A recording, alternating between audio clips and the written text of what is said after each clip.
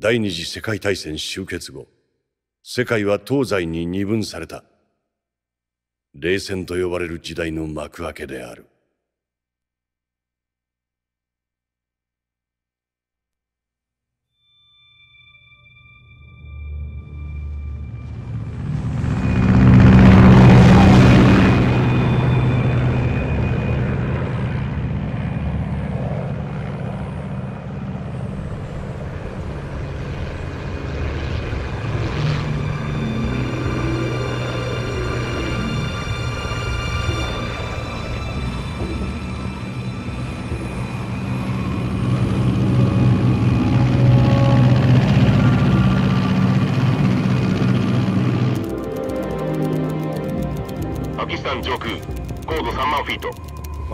ソ連領空に近づきます。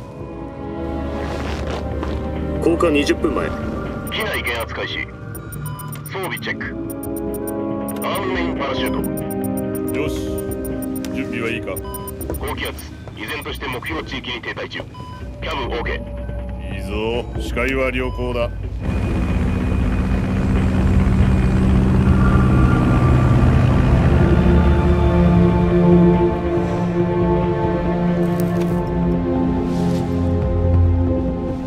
雨木を消せ。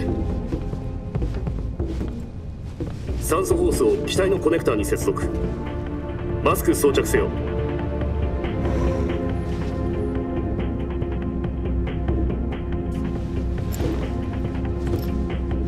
あの男素人か。リリースポイントに接近中。降下10分前。おい聞こえたか？葉巻を消してマスクを装着しろ。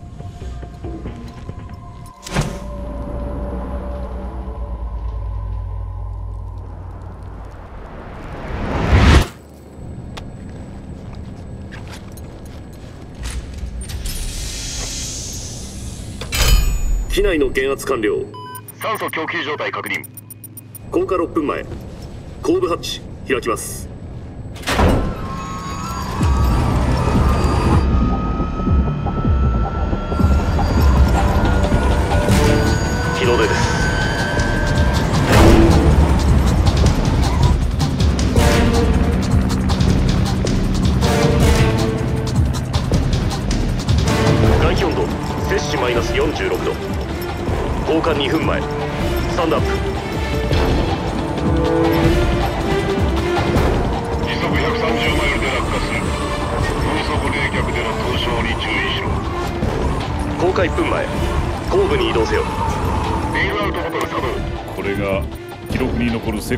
界初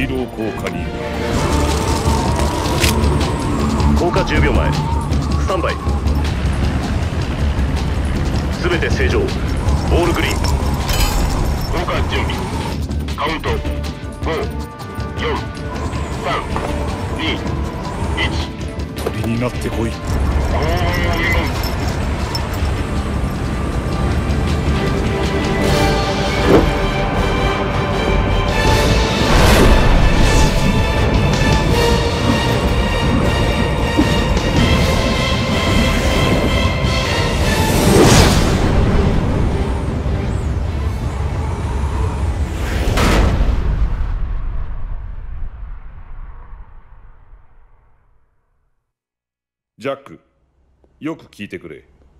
ついに CIA 長官からバーチャスミッションの許可が出た。バーチャルミッション？我々フォックス部隊の存在意義をかけたバーチャスミッションだ。これが成功すれば正式に部隊として編成される。低粛なミッション？忠誠を誓う儀式みたいなもんだな。気を抜くんじゃない。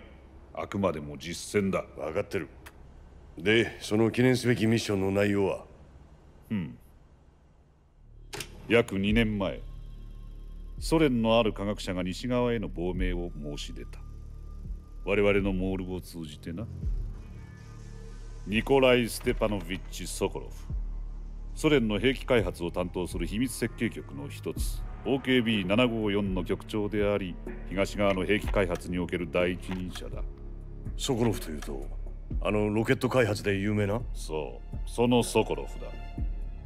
1961年4月12日ソ連は人類初の有人宇宙飛行に成功した。地球は青かった。だが神はいなかった。ああ。そのガガーリン少佐を宇宙へ送り届けたのが A1 ロケット。通称ボストークロケットだ。ソコロフはそこで使用されたマルチエンジンクラスターの完成に最も功績のあった人物とされている有人宇宙飛行の成功後ソコロフはロケット開発を離れ新設された秘密設計局の局長へ就任した。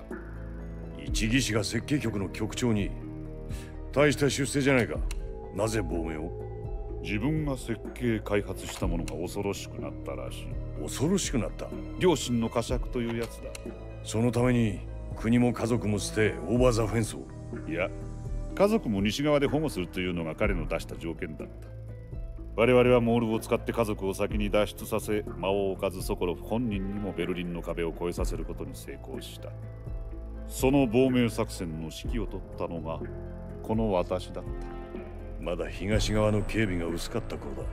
それでソコロフの身柄は保護したが体力の消耗が著しく西ベルリンの病院に入院させた。ソ連の設計局を2週間でたどり着いたらしいまともに口が聞けるような状態ではなかった。1週間後の一大事件が起こったのはキューバ危機か。1962年10月16日キューバにソ連の中距離弾道弾が配備されつつあるという情報がケネディ大統領のもとへ届けられた。大統領はソ連へミサイルの解体撤去を要求し同時に新たなミサイルの搬入を阻止するため海上封鎖を実行すると宣言した。だがソ連はそれには応じず第二戦備体制を指令ミサイルを積んだソ連輸送船団も依然キューバを目指し続けた。米ソ両国は全面核戦争への臨戦態勢に突入。一触即発の睨み合いの中国連緊急安保理事会や非公式の接触を通じた必死の交渉が行われた。そしてついに10月28日ソ連はキューバからのミサイル撤去に同意。世界は全面核戦争の危機を脱した。だがソ連がミサイルを引き上げた裏にはある取引があったんだ。アメリカもトルコから IRBM を撤去するという話か。いやトルコに配備されていたジュピター型 IRBM は旧式でいずれにせよ撤去される予定だった。米ソ双方にとって戦略的な意味合いはない。トルコの件は偽装だ。業界の同業者たちへ流すカバーストーリーだったんだよ。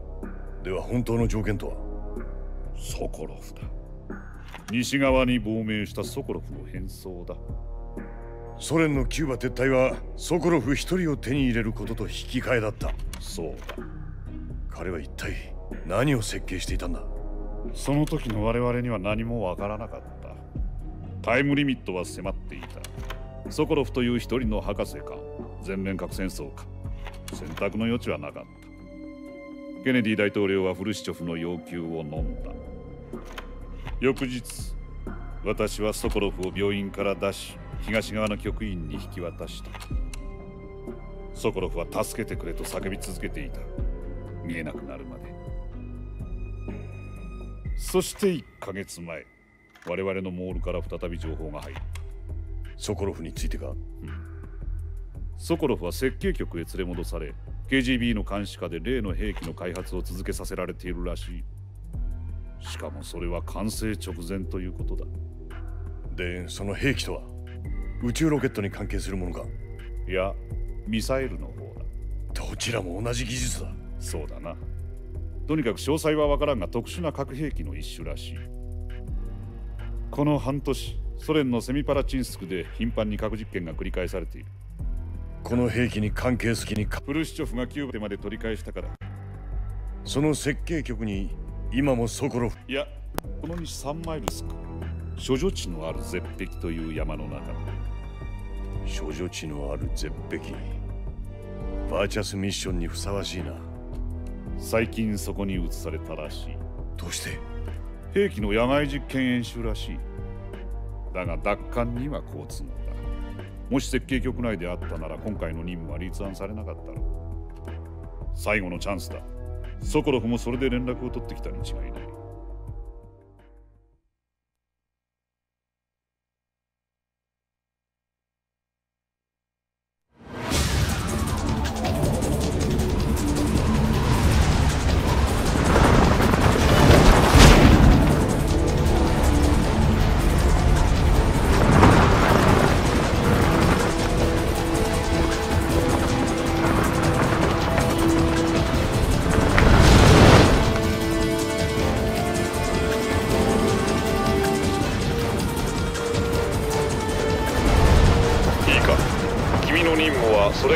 の山中ゼリノヤルスクに単独潜入。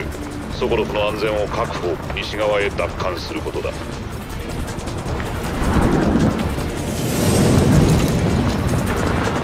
例の兵器が完成する前にソコロフを奪還しなければ大変なことになる。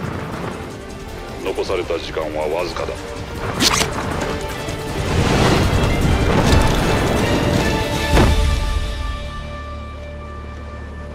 ソコロフ救助確認後リカバリーポイントで待て。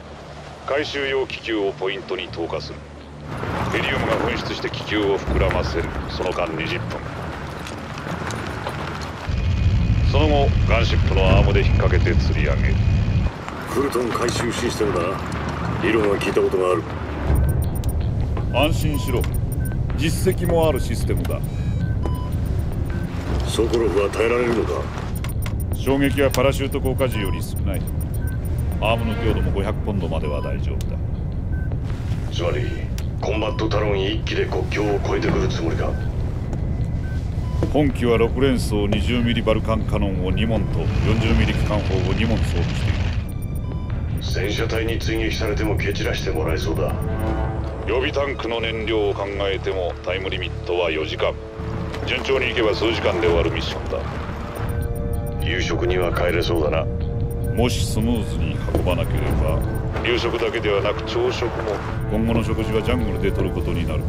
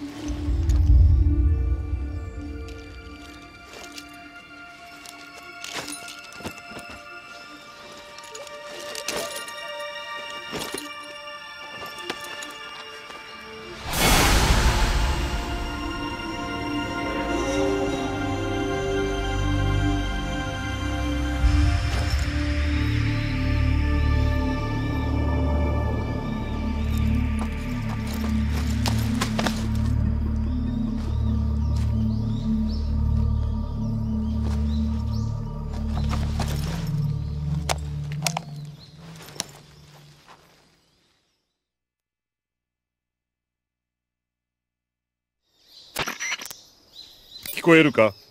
そこはすでに敵地内だ。傍受される危険性がある。今後はお互いコードネームで呼び合うこととする。君の本ミッションでのコードネームはネイキッドスネークだ。以降はスネークと呼ぶ。本名は口にするな。スネーク？ヘビは嫌いか？嫌い？どういう意味だ？食べたことはあるな。サバイバル訓練では。それはよかった。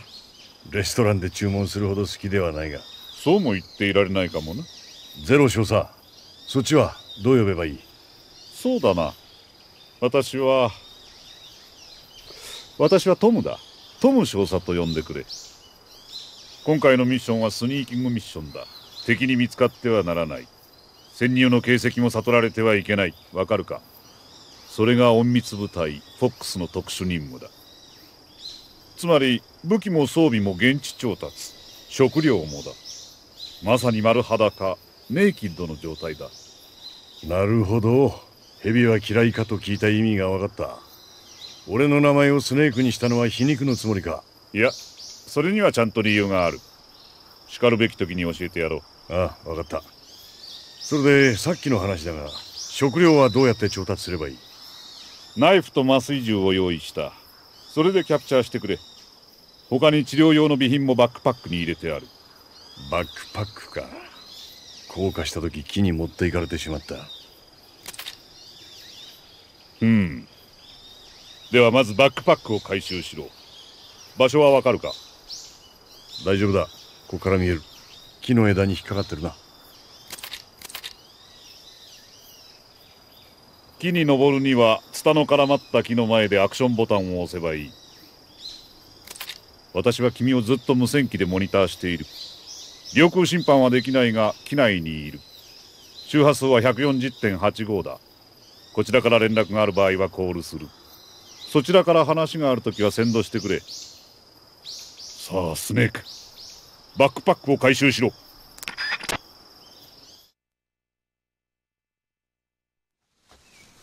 スネークまず CQC の基本を思い出して。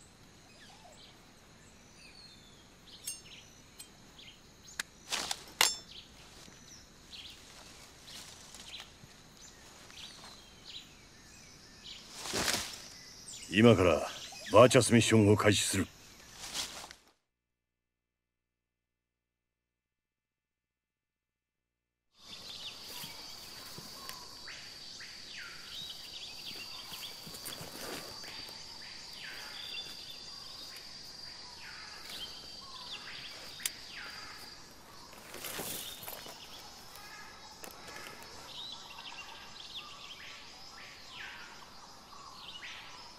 少佐敵兵を2名発見。おそらくソコロフを見張っている KGB の兵士だ。AK47 にグレネードか。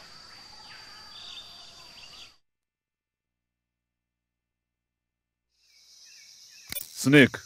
君はすでにソ連領土に不法侵入しているんだ。CIA やアメリカ政府の関与をクレムリンに悟られてはならない。敵との接触は禁じる。戦闘も避けろ隠密行動だ。いいな。少佐の言う通り本作戦はジャングルでの隠密潜入が基本になる。作戦の成否はカムフラージュにかかってくるわ。まずサバイバルビュアーのカムフラージュを使って迷彩を選びなさい。ユニフォームで野戦服。フェイスでフェイスペイントが変えられる。その場所に溶け込むような迷彩を選べば高い偽装効果が得られるわ。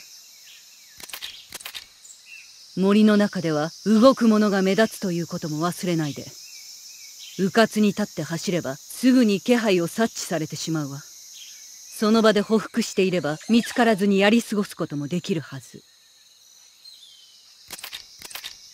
どれだけ偽装ができているかはカムフラージュ率を見ればわかるわ。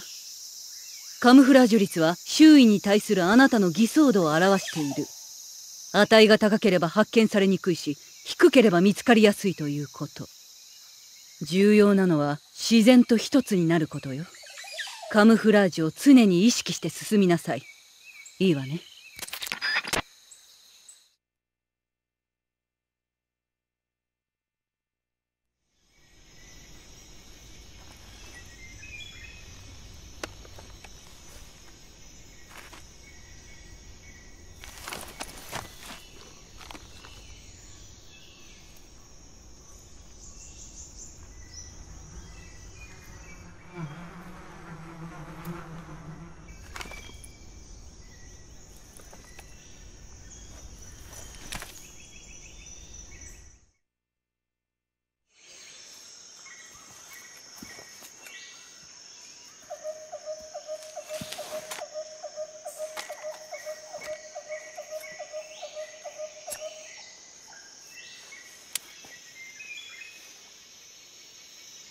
少佐ソコロフが監禁されていると思われる廃工場に到着。かなり朽ち果てている。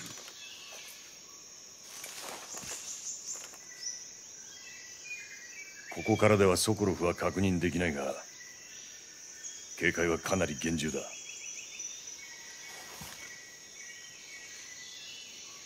工場の外に保証が立っている。内部にも何人かいるだろう。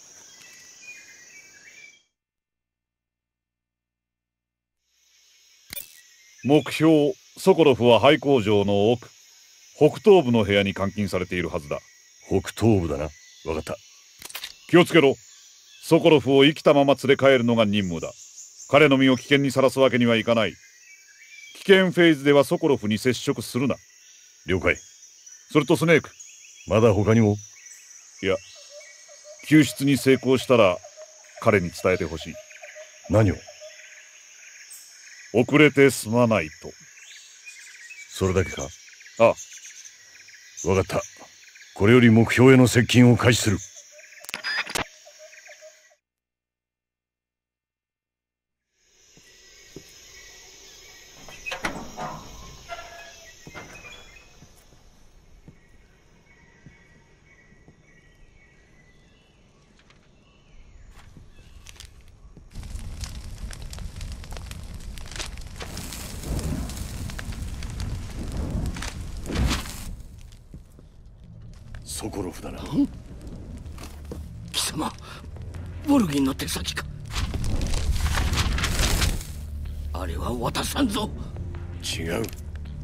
俺は CIA のエージェントだ。あんたを鉄のカーテンの向こうへエスコートしに来た。CIA だと？ああ。2年前あんたを亡命させた。ゼロ少佐の部下だ。ゼロ？彼から伝言がある。なんだ？遅れてすまないだそうだ。そうかどういう意味なんだ？彼は約束を守る男だということさ。それより早くここから連れ出してくれ。奴らが来る前に。奴ら？グルーのボルギン大佐だ。西側ではサンダーボルトと呼ばれている。サンダーボルト？何者だ？我が連邦の政家連邦の政家連邦の政家連邦を狙うと派前の木フルヒトの平和共存に来た軍や地方有力者などのタカ派から弱腰と非難されつつもフルシチョフは反対勢力を何とか抑え込んできただが農業政策の失敗で立場も危うくなってきた上去年の11月の事件ケネディ大統領の暗殺か。そうだ。ある意味での最大の協力者を失いフルシチョフの足場は急速に崩れ始めている。そしてこれを機にブレジネフやコスイギンを担い反フルシチョフ派を糾合して現政権を覆し権力を手に入れようと画策する一派がある。その急先鋒がグルーの大佐ヴォルキンだ。奴はここと同じような秘密兵器設計局 OKB812 通称グラーニン設計局を抱え後ろ盾にしている。だがそれには飽き足らず奴は私がここで作らされていた秘密兵器を奪い権力奪取の切り札にしようと企んでいるらしい。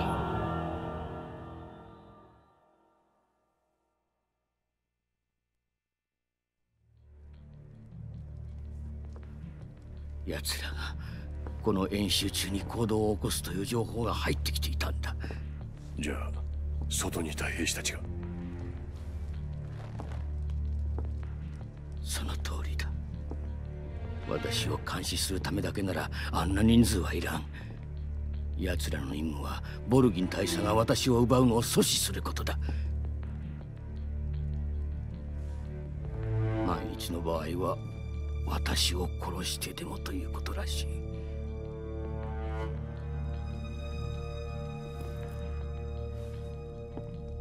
大佐は必ずやってくるはずだ。その前に私を連れ出してくれ。分かった。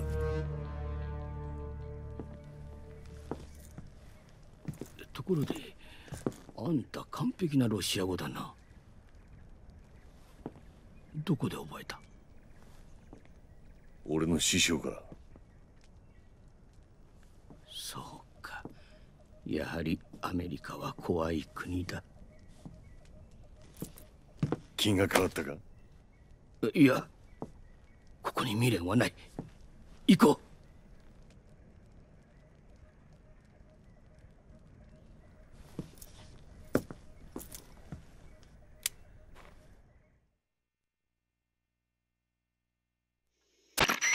少佐こちらスネーク。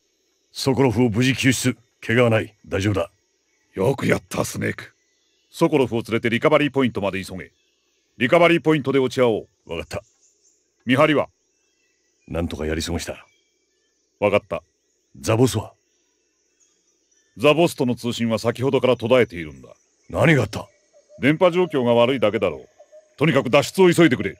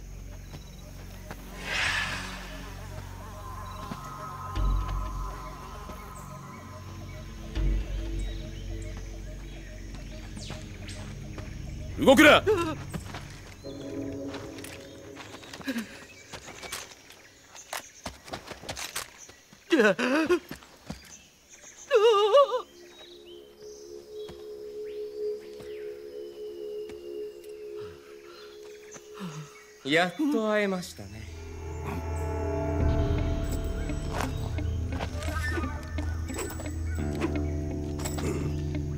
伝説のボス。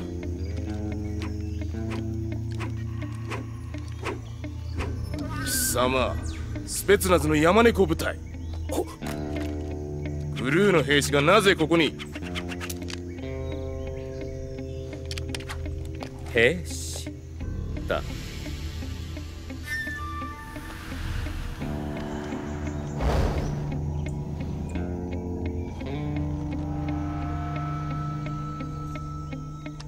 ットの大将。間違いないでほしい。俺はオセロット少佐だ。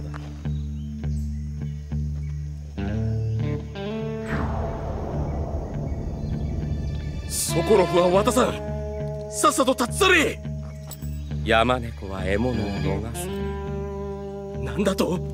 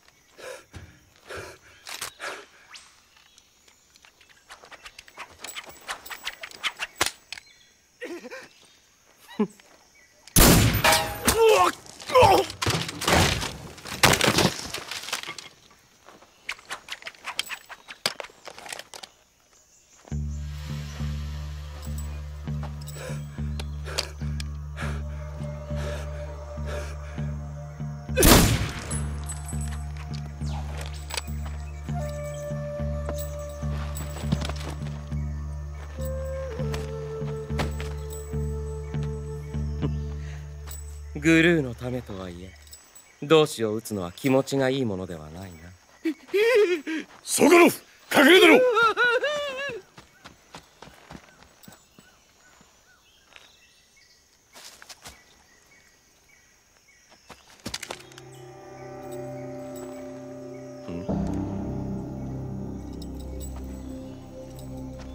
お前ボスじゃな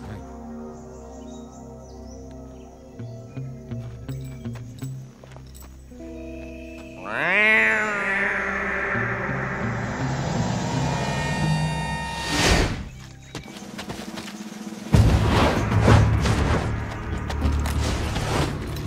ルーの部隊なんだ？その構え方。その銃は。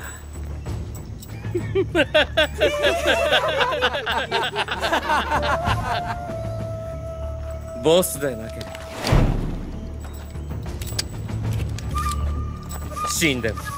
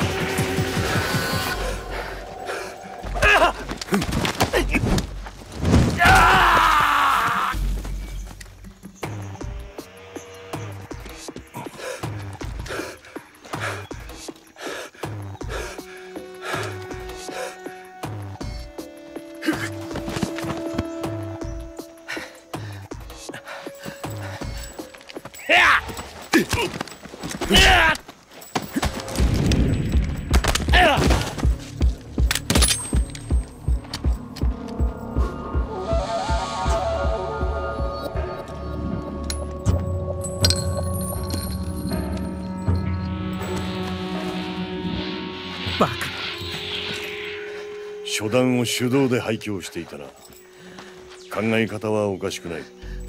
だが聞きかじっただけの行為を実践で試すもんじゃない。だからジャムなど起こすんだ。そもそもお前はオートマティックに向いていない。リコイルの衝撃を肘を曲げて吸収する癖がある。どちらかというとリボルバー向きだ。クソ。アメリカ人め！だ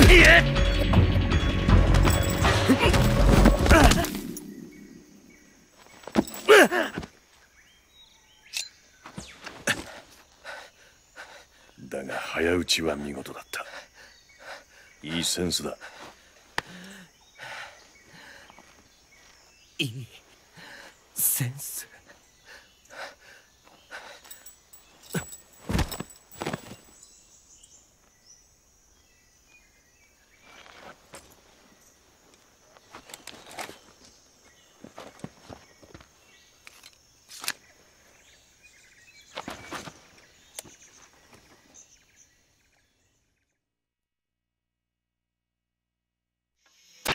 トム少佐聞こえるか？聞こえるスネーク。大丈夫か？ややこしくなってきた。こいつらもソコロフを狙っていた。例のグルーボルギン大佐の手下らしい。グルーの大佐？ソ連内部の勢力争いのようだ。ソコロフが言っていた。KGB とグルーフルシチョフ派とボルギンの勢力。KGB に守られながらグルーに狙われている。スネークどうやらそこはキューバよりもホットらしいな気に入らない。嫌な予感がする。私もだ。急げ。ソコロフが一人で逃げたがすぐに追いつく。頼むぞ。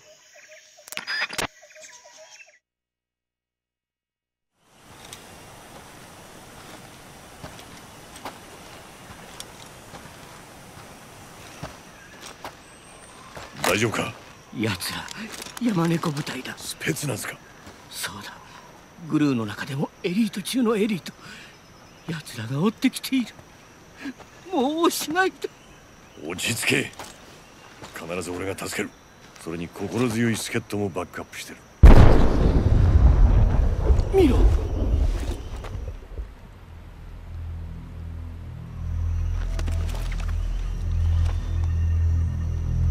あれがあんたが作らされていた。そう。シャゴホッド IRBM を射出する核搭載戦車だ。あんな地形からでも核ミサイルが撃てるのか？ああしかも友軍の支援なしでな。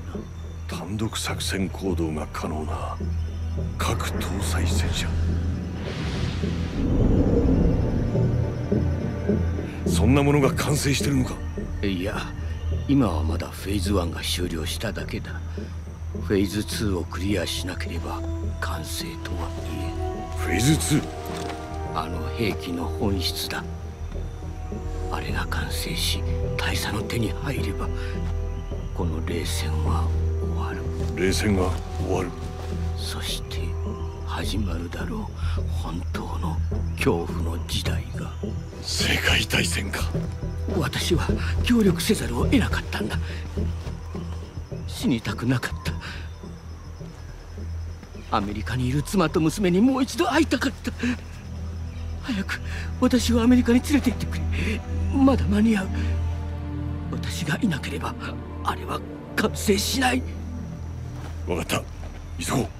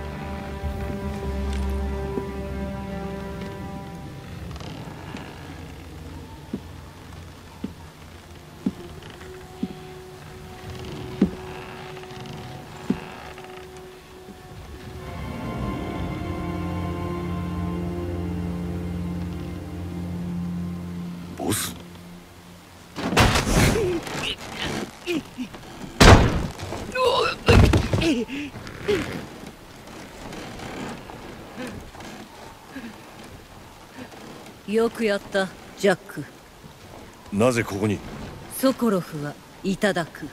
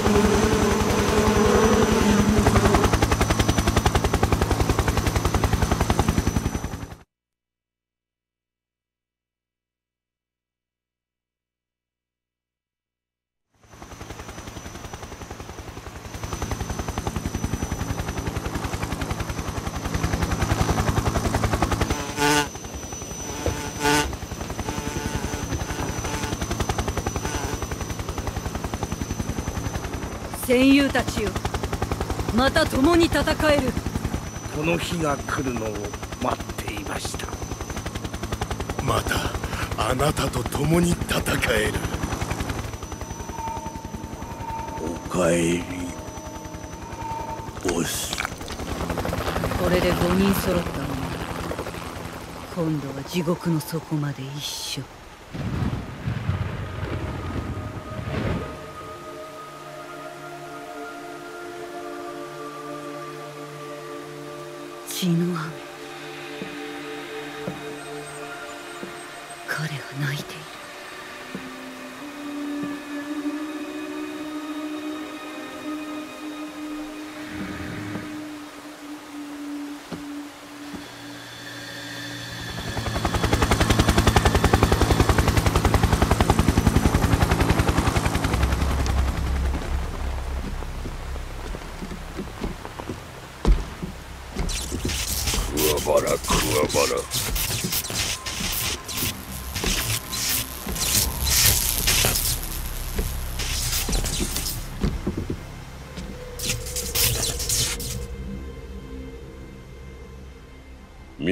皆喜んでいるようだ。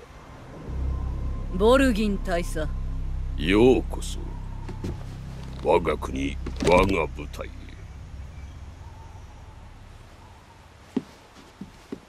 ボスこれは？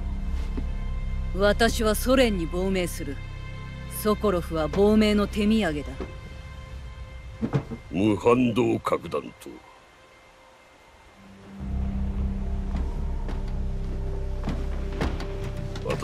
手土産はこいつ。嘘だ。その男はそいつも弟子の一人。連れて行くのか。いやこいつはまだ幼い。我らコブラ部隊には純粋すぎる。まだ戦場で特別な感情を抱いてはいない。どういうことなんだ。撃てるのか？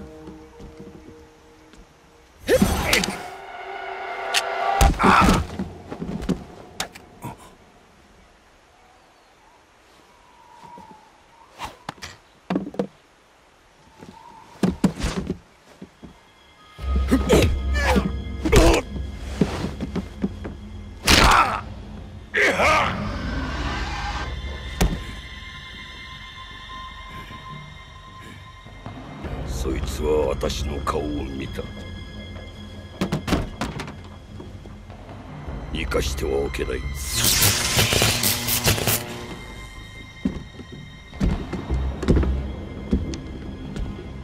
ソコロフのことがフレッシュフにバレると厄介だ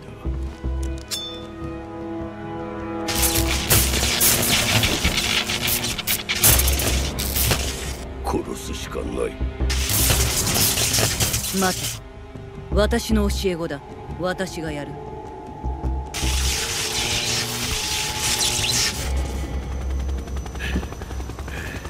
ジャックあなたは連れていけない。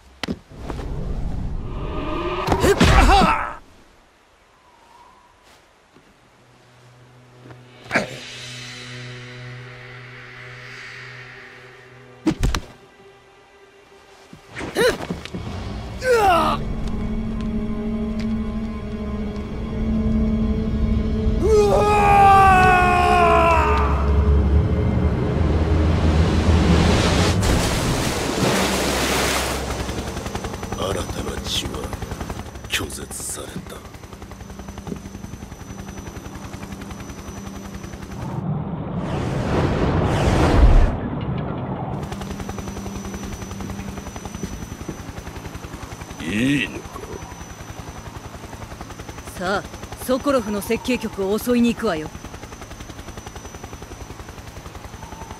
シャゴホットはいただきだ。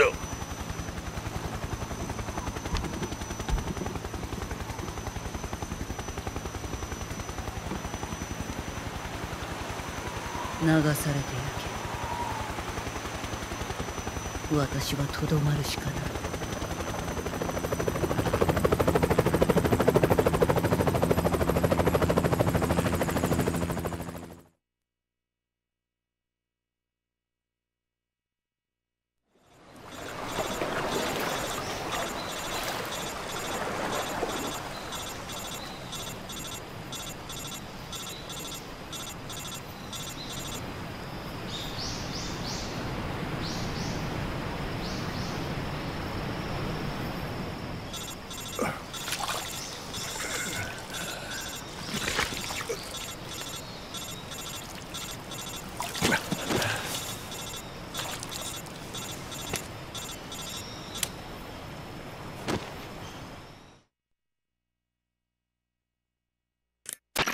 スネーク聞こえるか？ああなんとか。スネークよく聞け。応急手当てが必要だ。動けるか？応急手当てをするんだ。頑張れ。よし。いいぞ。治療を始める。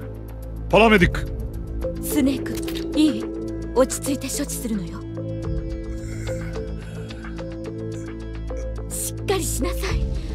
もっとひどい兵士を見たことがある。できる。少佐。ザ・ボスが。ザ・ボスが。亡命した。そのことは後だ。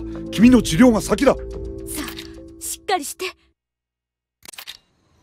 まずスタートボタンでサバイバルビュアーを開くのよ。そこでキュアーを選べば治療が行えるわ。治療は装備品ウィンドウボタンを使う薬物治療と武器ウィンドウボタンを使う外科治療に分かれるの。あなたが負っている重傷は左肘と脇腹の骨折に左上腕右肘右上腕及び腹部の切創よ。外科治療で処置を行って。まず治療カーソルを左スティックで患部に合わせるの。患部を選択したら武器ウィンドウボタンを押しながら左スティックで治療アイテムを選んで決定ボタンを押すのよ。それでそのアイテムを使った治療が行えるわ。骨折に必要な処置は固定具を使った患部の固定と包帯の2つ。切創に対する処置は消毒薬による傷口の消毒。縫合セットによる縫合。止血剤を使った止血。包帯の4つよ。必要な処置を全て行えばその重傷は完治するわ。分かった。しっかりしなさいサバイバルビュアーに入って重傷を治療するのよ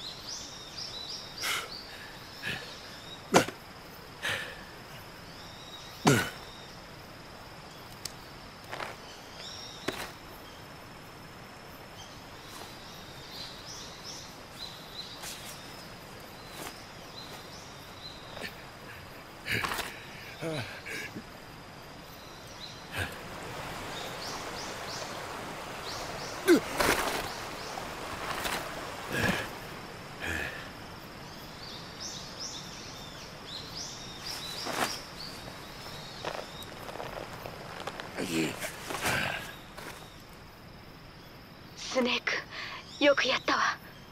今から迎えに行く。そこでじっとしてろ。回収気球を投下する。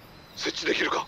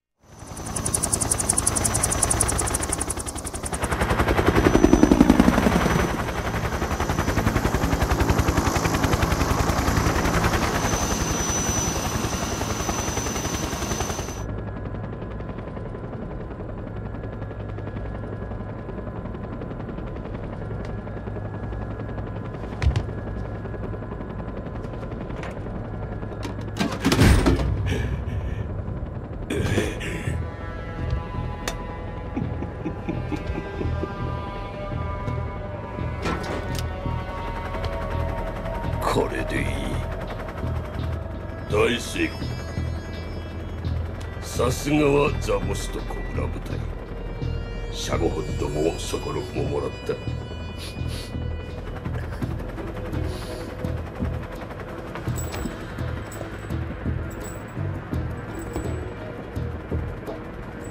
この女はどうします？何者だ？ソコロフの女らしいです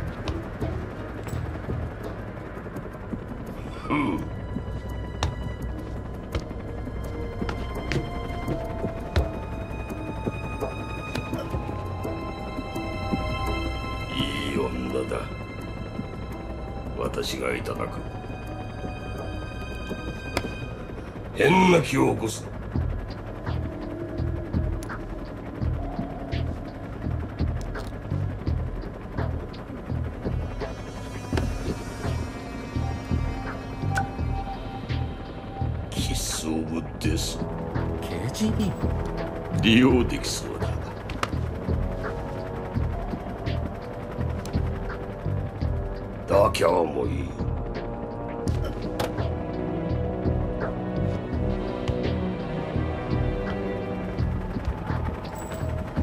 基地に連れて行きます。かそうだな。ソコロフの設計局も用済みだ。早速この手土産を使わせてもらおう。ダメさ敵対していると同志です？私が撃つのではない。これは亡命したアメリカ人あの女が撃つ。同志核を使うんですか？あらもう忘れるな。大佐。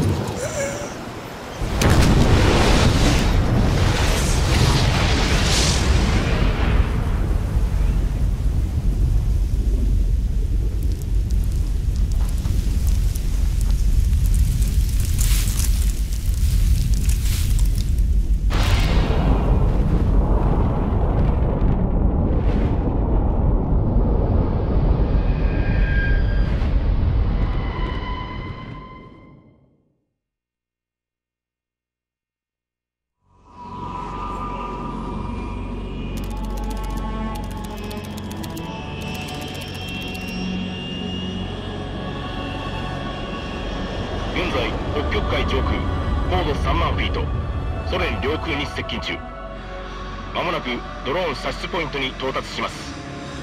ドローン油圧電圧ともに正常。ペイロードへの酸素供給は正常。ペイロード用防寒装置への電力供給異常なし。ガストなし。現在ドローン切り離し問題なし。いいか。今回は HALO降下は無理だ。前回の作戦以来空域の警戒が厳重になった。バーチャスミッションの時のように上空へは近づけない。よって最新鋭の兵器を使う。スネークこれはアナンシェパード並みの栄誉だぞ。これが最後のチャンスだ。愛国心を示せ。失敗すればまた病院のベッドの上で銃殺されるのを待つことになる。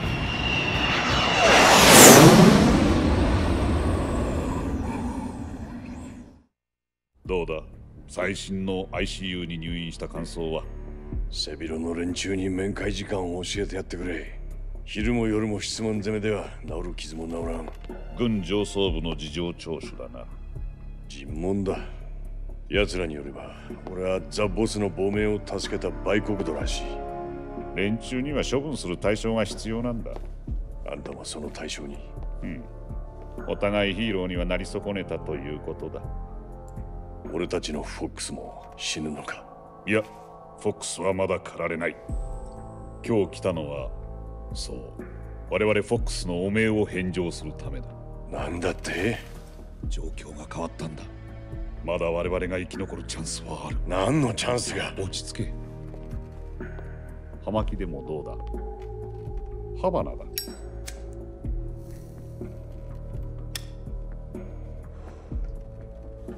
今朝 CIA 長官から呼び出しを受けた。俺たちの処刑時期が決まったがいいかよく聞くんだ。昨日ホワイトハウスにある人物から連絡が入った。ジョンソン大統領閣下？ええ聞こえています。フルシチョフ第一書記。フルシチョフからジョンソン大統領へのホットラインだ。ソ連の最高権力者から？そうだ。数日前に我が国の主力設計局 OKB754 が核兵器で消滅しました。ほぼ同時刻。我が軍の防空レーダーが帰国の軍用機らしい機影を確認しています。覚えはありますかな？そちらへの報復体制を整え我が軍には現在第二戦備体制が発令されています。そちらの返答次第では直ちに第一戦備体制へ移行。アルマゲドンの口火を切る命令を下さなければなりません。私はあなたの前任者と共にあのキューバ危機を乗り切った。しかし私の権限も以前ほど強大ではなくなってきています。この危機を乗り越えるにはあなたの真摯な態度が必要です。こちらから連絡すべきでした。1週間前我が軍の兵士がそちらへ亡命したのはご存知ですか？いや。ご存知ない。手引きしたのはグルーの大佐エブゲニー・ボリソビッチ・ボルギン。続けてください。その一次大戦下連合国中の優秀な兵士を集め組織我々に勝利をもたらした伝説の軍人ザ・ボス。あなたの国ではおえぼうだとも言われています。ななんとあのボス特殊部隊の母が。そうです。小型核砲弾を2発。あのザ・ボスが小型核砲弾を？遺憾ながらそちらへの亡命の手土産だったのでしょう。原子戦闘グループ投射システムデイビー・クロケットは2年前に完成していました。ただ射程精度などに問題が見つかり量産はしたものの実戦配備はしていません。だがソコロフ設計局が丸ごと消滅し汚染された。その件には哀悼の意を表します。でザ・ボスがボルギン大佐の手引きで開発中の核弾頭を2発手土産にして我が国へ亡命した。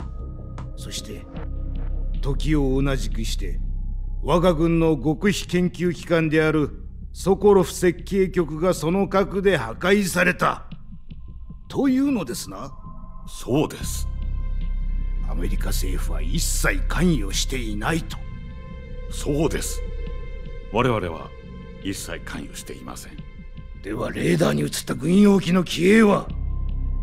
明らかに領空侵犯です。ぞあなたの命令ではないと。そうです。あくまでも一兵士の亡命。それを信用しろと。そう言うしかありません。軍部はあなたたちの偽装亡命だと。何度でも申し上げますが我が国は無関係です。私もそれを信じたい。しかしキューバ危機以来私の軍部への権限も弱まってきている。これがアメリカ政府によるものではないという証拠がいるのです。一週間猶予があります。あなたたちの手でそのザ・ボスを捕らえ残りの小型核砲弾を回収してください。どうか身の潔白を証明してください。潔白？そうです痛みを伴う潔白です。今回の事件がそちらの偽装亡命ではないという証拠を見せていただきたい。ザ・ボスはボルギン大佐の近くにいるはずです。そちらの協力は？期待しないでほしい。政局が不安定なのです。しかもボルギン大佐は現政権転覆を狙うブレジネフ派一週間です。一週間です。一週間です。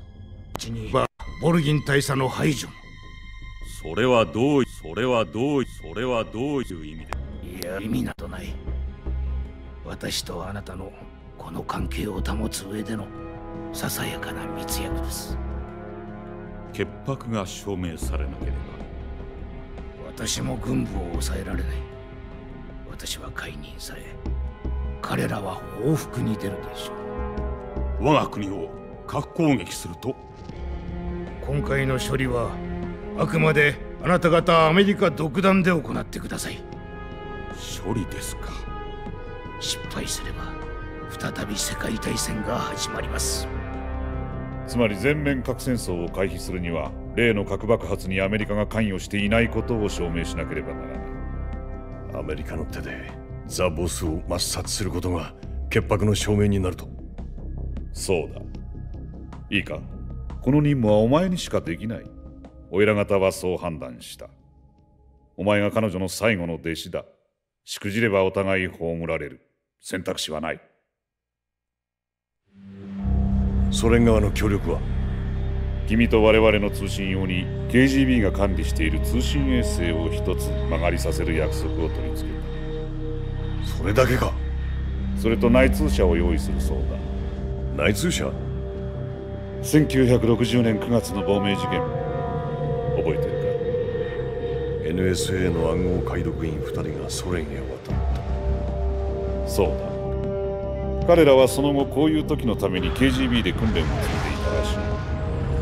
コードネームアダムとエヴァ。そのうちのアダムがボルギン大佐のもとへ潜入しているそうだ。脱出経路も彼が用意する手はず。に現地で打ち合ってくれ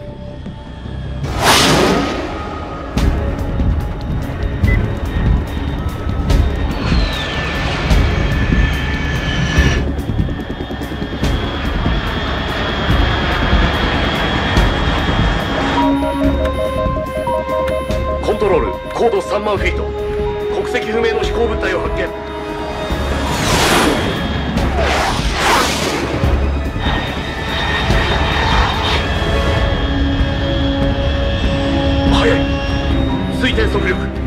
3以上。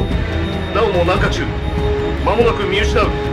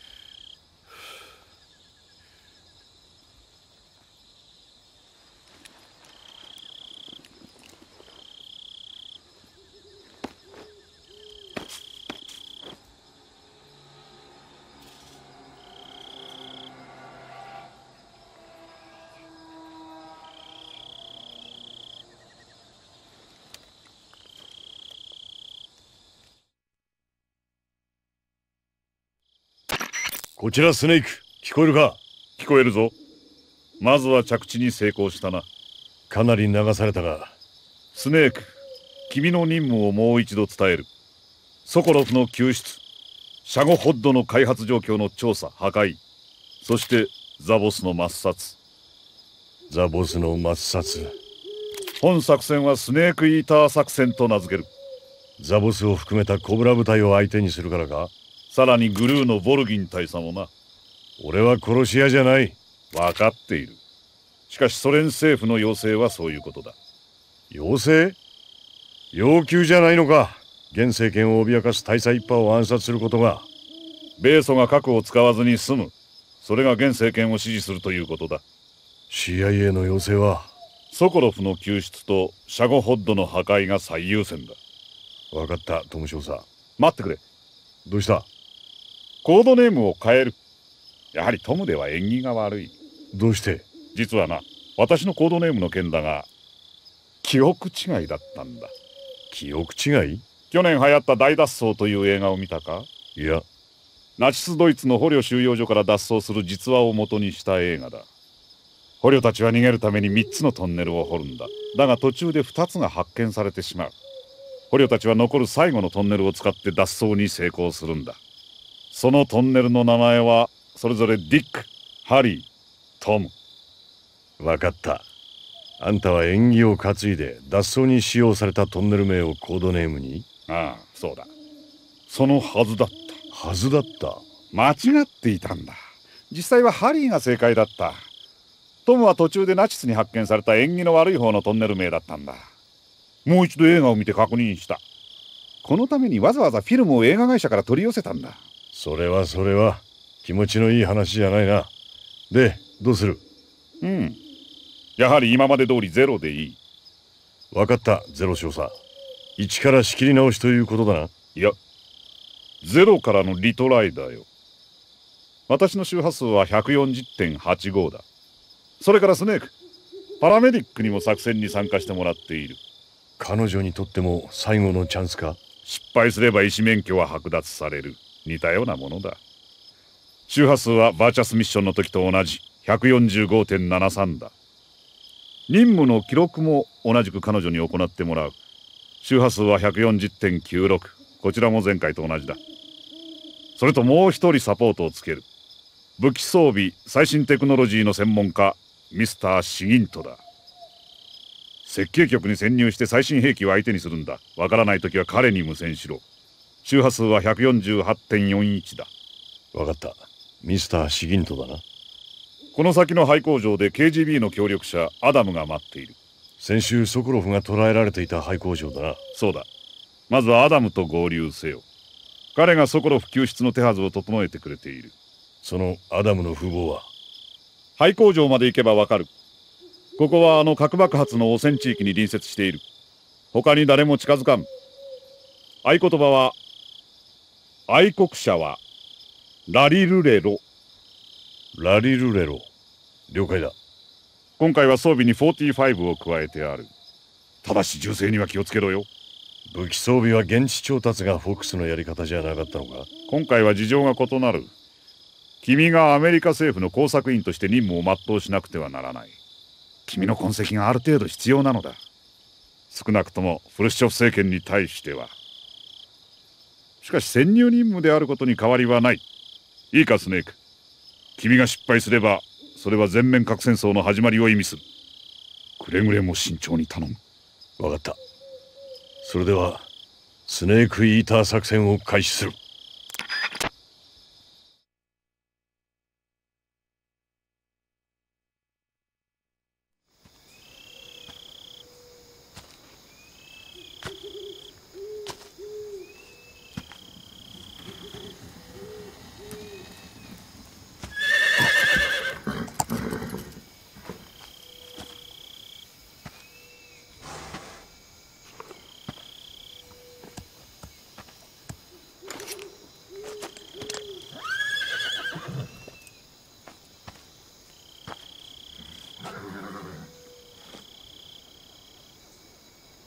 命拾いしたようね。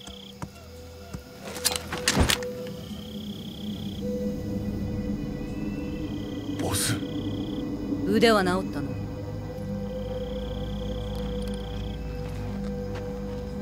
どうしてここに？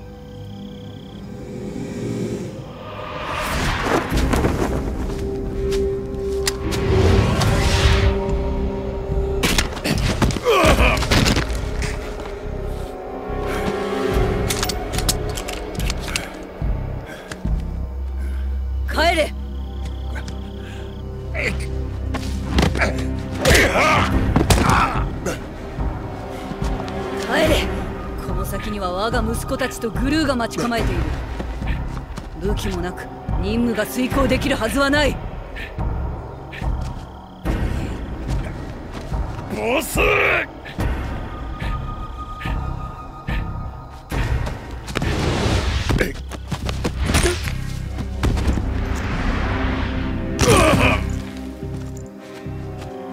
はやお前のボスは私ではないお前のボスはここにはいない。帰るがいい。お前のボスのもと。もうバーチャスを示す必要もない。いいか。ここはアメリカではない。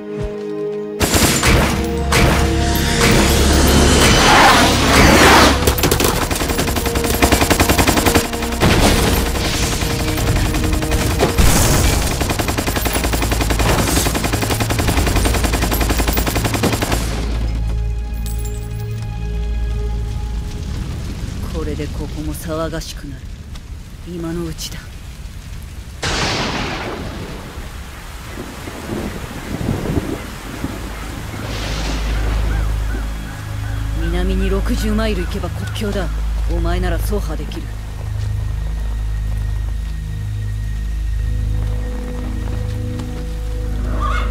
なぜ亡命を？亡命ではない。自分に宙を尽くした。お前はどうだ？国に宙を尽くすか？それとも私に宙を尽くすか？国か？恩師か？任務か？思想か組織への誓いか。人への情か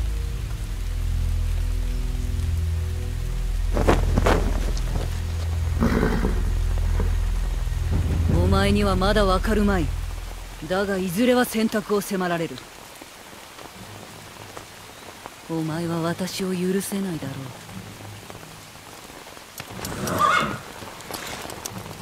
う。しかしお前に私は倒せない。私を知りすぎているから。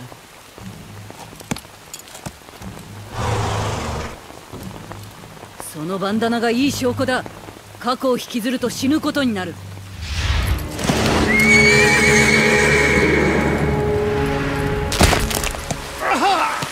次に会うことがあれば殺す。いいか。このまま帰るんだ。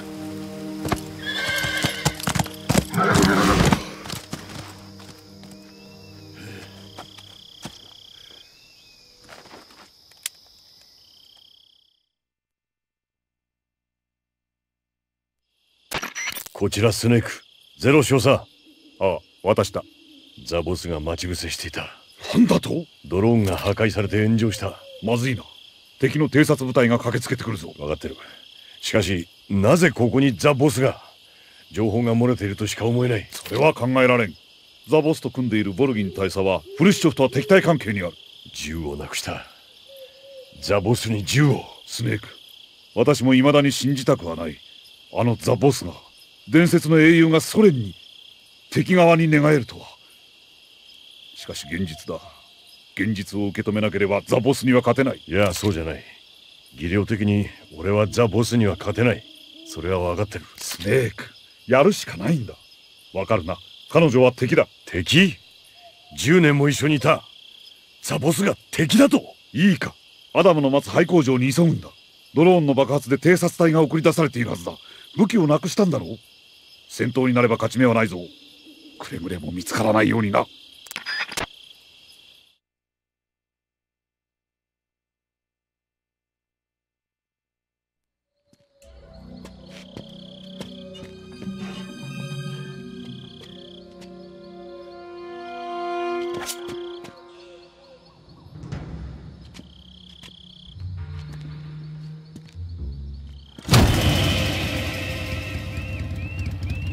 し遅れたかしら？エンジンを切れ。聞かれる。あなたが西側のエージェント？お前がアダムか？男だと思ってた。アダムは来られなくなった。合言葉を言え。愛国者は。愛国者は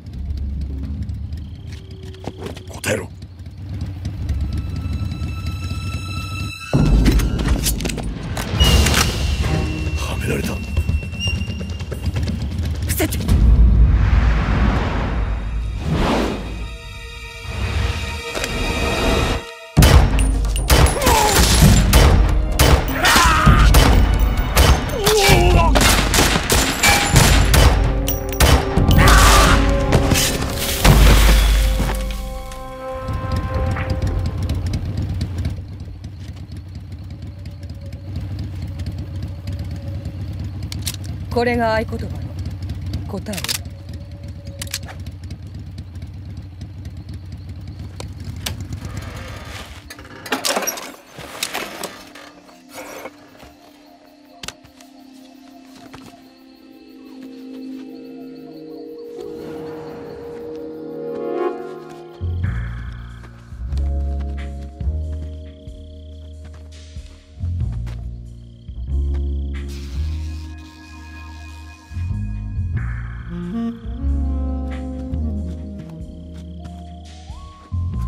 よよろしく。エヴァ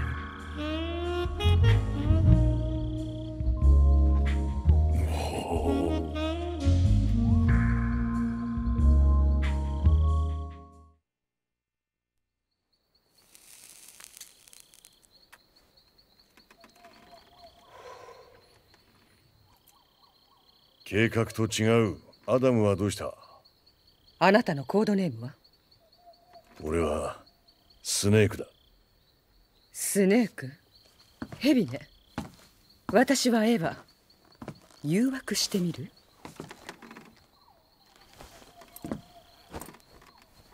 アダムはどうした？ボルギン大佐は用心深いわ。アダムは適任でないと判断されたの。君なら適任なのか？ええ。どうして？彼にはできないことができるから NSA の暗号解読員だったと聞いたが。そう。4年前にアダムと一緒にソ連へ亡命したの。ブルームハンドル。モーゼルミリタリーとはな。火力があるからバイク乗りには重宝するの。銃を横に構えてマズルジャンプで水平に投げ打つあの打ち方。見事だった。西にはないやり方でしょ？コピー品だな。ええ中国の17型拳銃。ここじゃこれでも高級品なのよ。大丈夫。あなたにはアメリカ製を用意しておいたわ。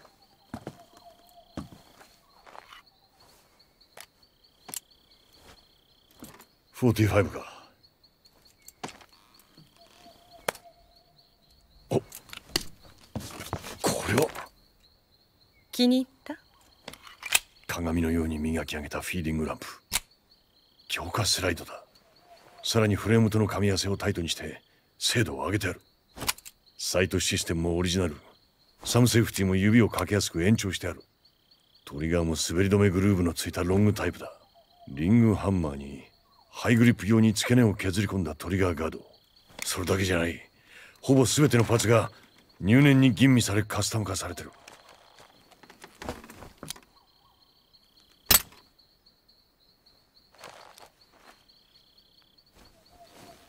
これほどのものをどこで手に入れた？西側兵器の保管庫から持ってきたの。元はそっちの将校のものだったんでしょうね。他にもあるわよ。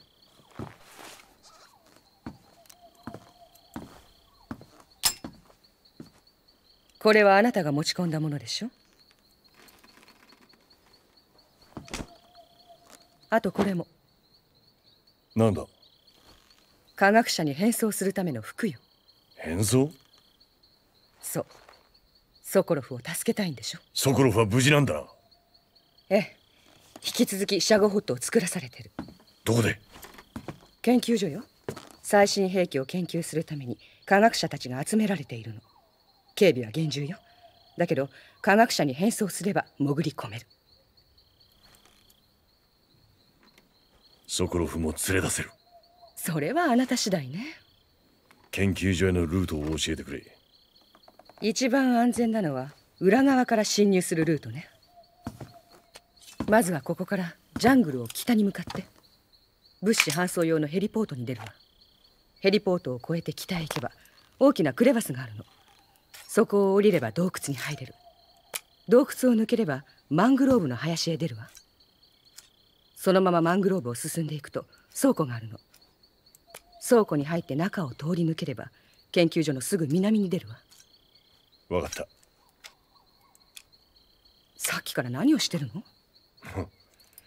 近接戦闘ではハンドガンよりもナイフが有利な場合もある。こうしておけばナイフを握ったままハンドガンを確実に構えることができる。発砲とナイフファイトを瞬時に切り替えることができるんだ。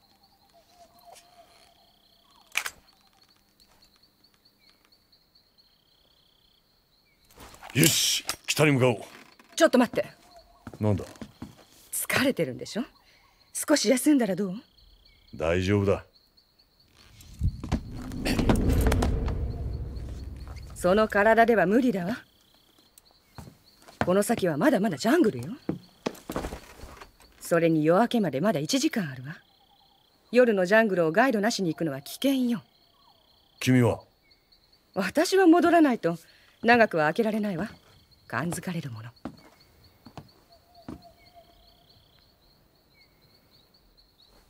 大丈夫。無線機で情報を送るわ。それだけか。私の任務はあくまでもあなたへの情報提供よ。不満みたいね。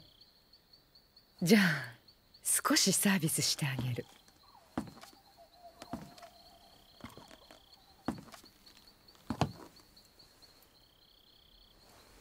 夜明けまで見張っててあげるわ。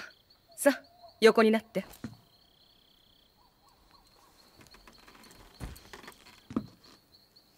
どうしたの？信用できるほど君を知らない。どこまで知れば信用できるの？いやもう誰も信用できない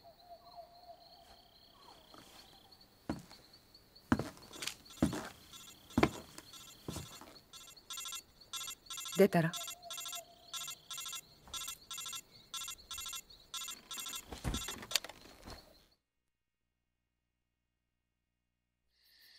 彼女の言う通りよ。眠った方がいいわ。本当ならまだ ICU にいる身よ。ゲームをセーブして中断すれば眠ったことになるわ。スタミナは自然回復するし怪我や病気も睡眠時間によって自然治癒するの。傷ついた時や疲れた時は眠るのが一番よ。医療担当としての命令よ。眠りなさい。いいわね。ああ。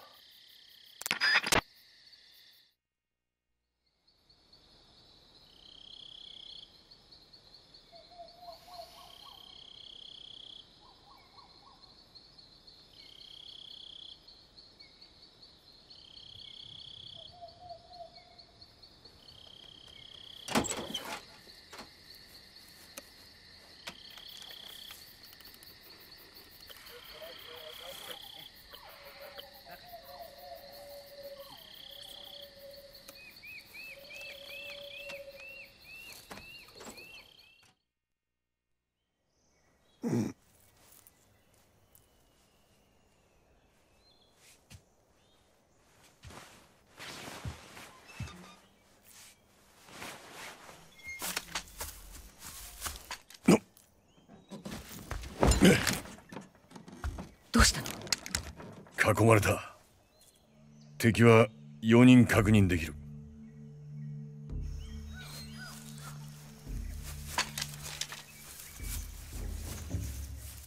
まずい。山猫部隊よ。逃げましょう急いで。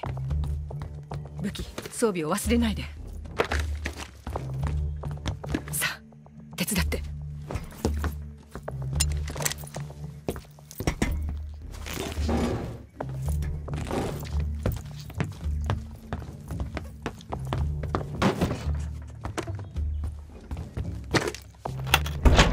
ここから床下に出られるわ。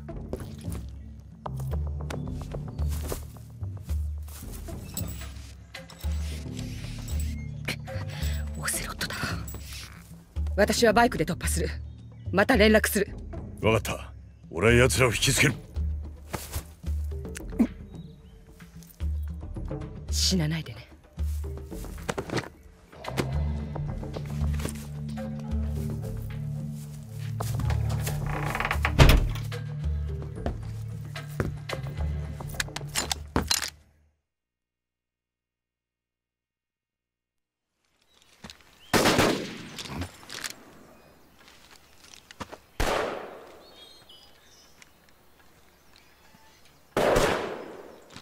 会いたかったぞ。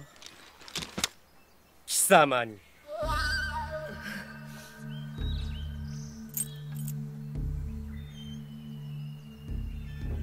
その構え。その構えだ。動くなおスパイか。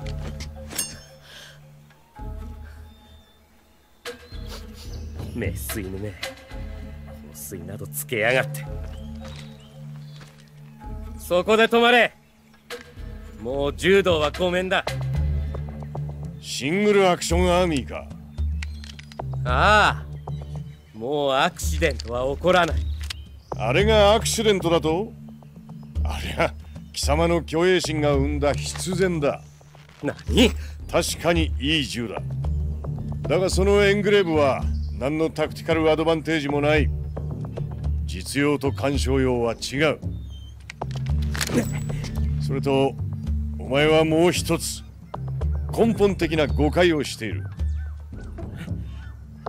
お前に俺は殺せない。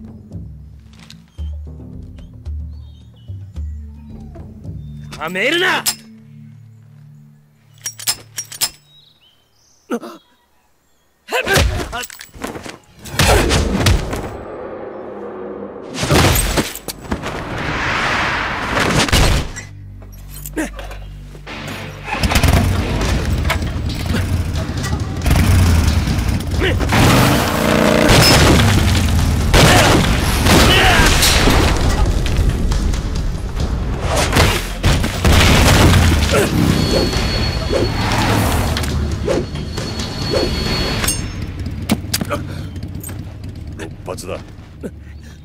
ちの相談数は6発。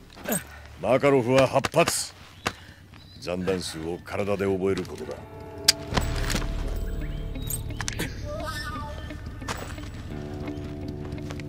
高貴な銃だ。人を撃つもんじゃない。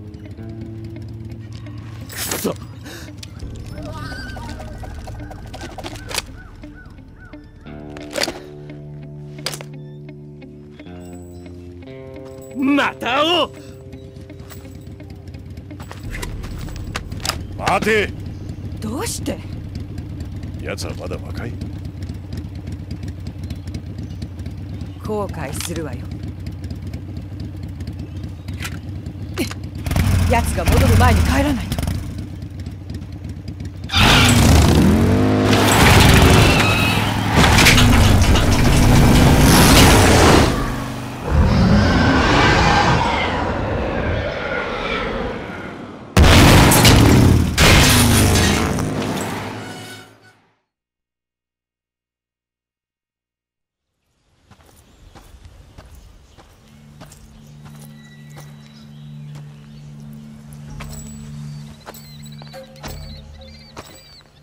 やはり来たな。ザ・ボスの情報は確かだ。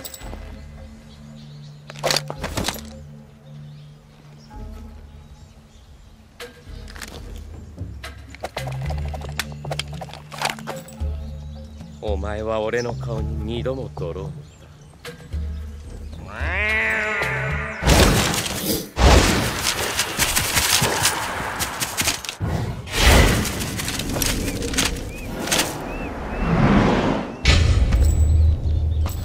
ラ部隊には悪いがお前はこのオセロットがもらう。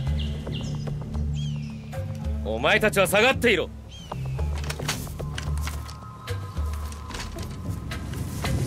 二人っきりだ。邪魔する者はいない。オセロットは気高い生き物だ。本来群れることはない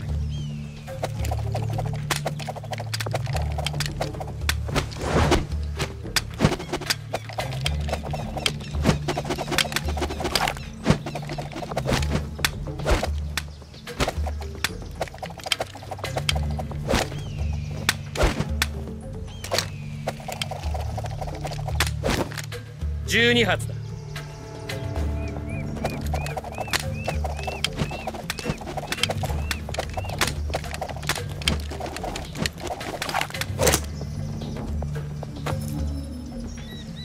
いいか。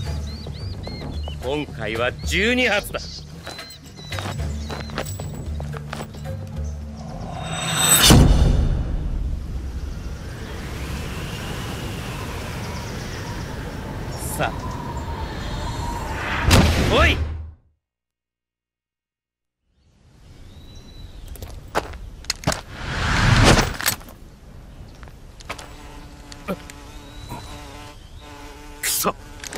かったか。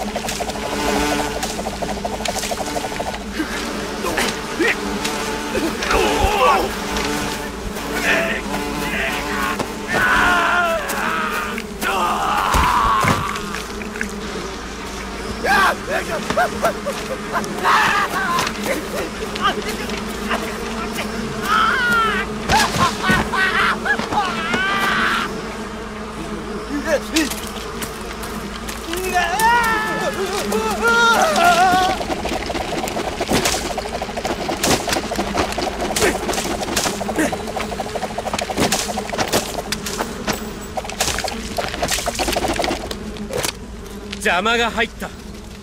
また会おう。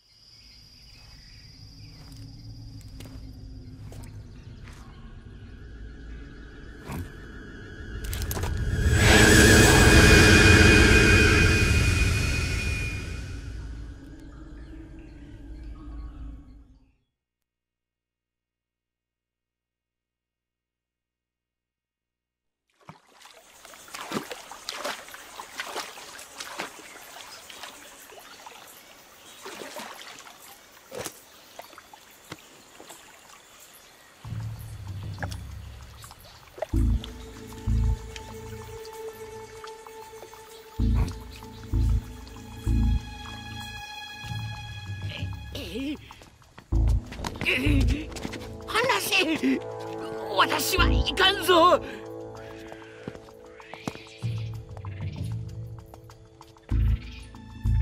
まったく。何度言えばわかる。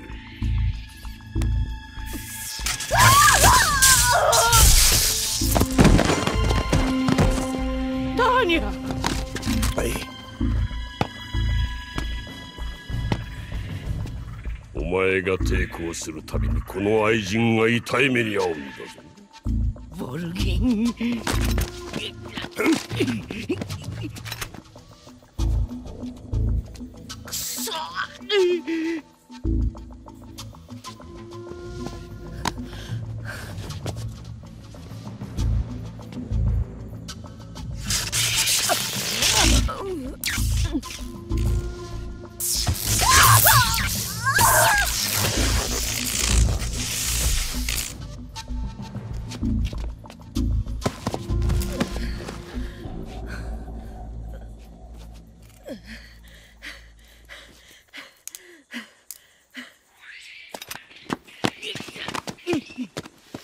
待て。売国道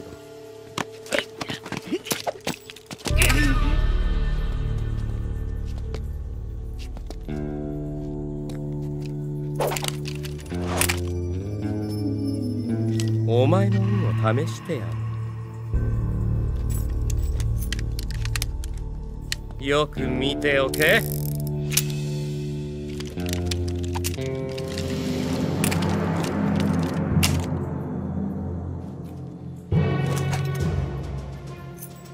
この3つの銃のどれかに一発だけ実弾が入っている。続けて6回トリガーを引く。いいか？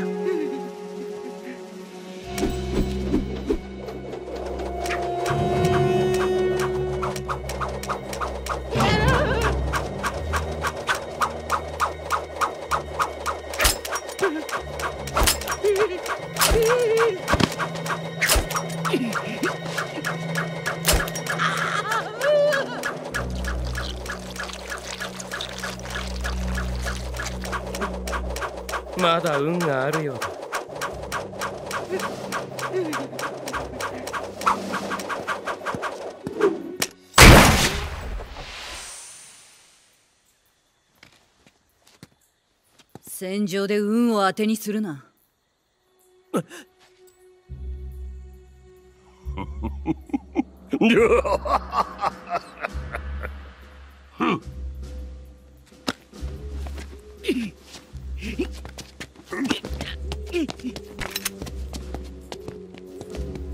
勝手な真似はするな。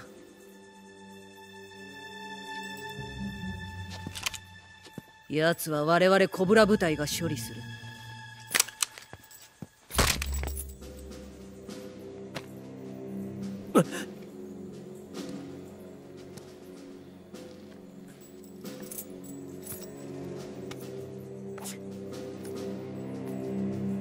ー CIA の犬は片付いたのか？ザ・ペインがやられた。なんだそう？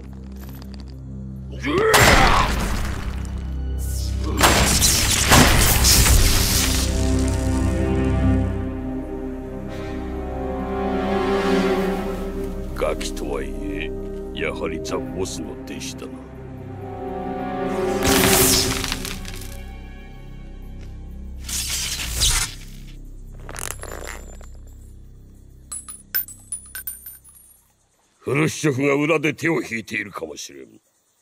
早い方がいい。最終試験の前に消してくれ。大丈夫だ。彼らに任せる。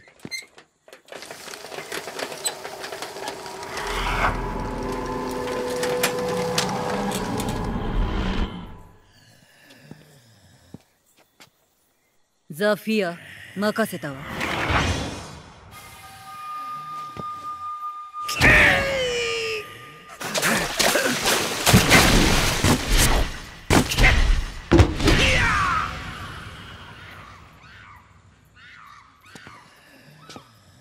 このじいさんずっと寝てるが大丈夫か？余命のエネルギーは戦場のみに使う。ジエンドは普段死んでいる。時が来れば目覚める。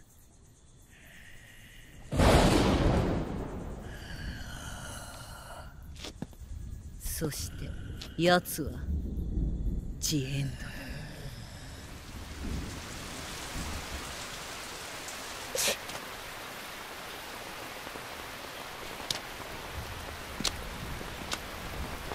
おいソコロフの愛人雨が上がるまで私を楽しませる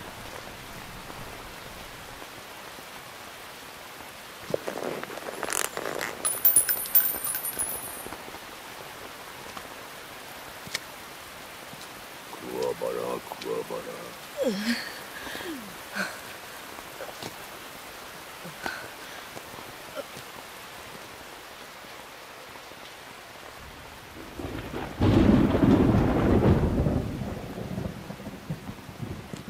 ザ・ソロいるの。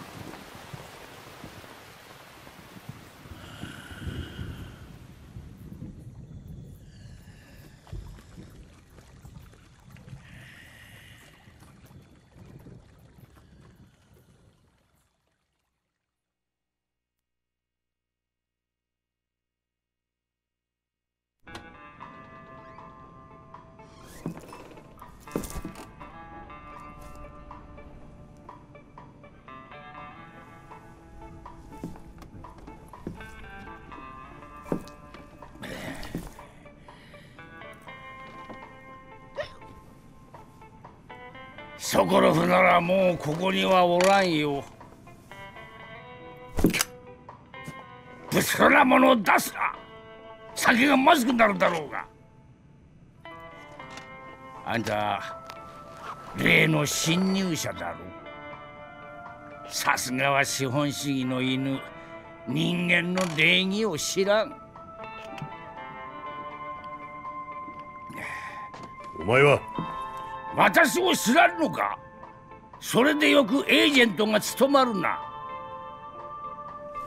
まあいい。私はアレクサンドル・レオノビッチ・グラーニ。一言で言って偉大な男だ。我が連邦最高の兵器開発者であり栄光あるグラーニン設計局の局長でもある。レーニン勲章だ。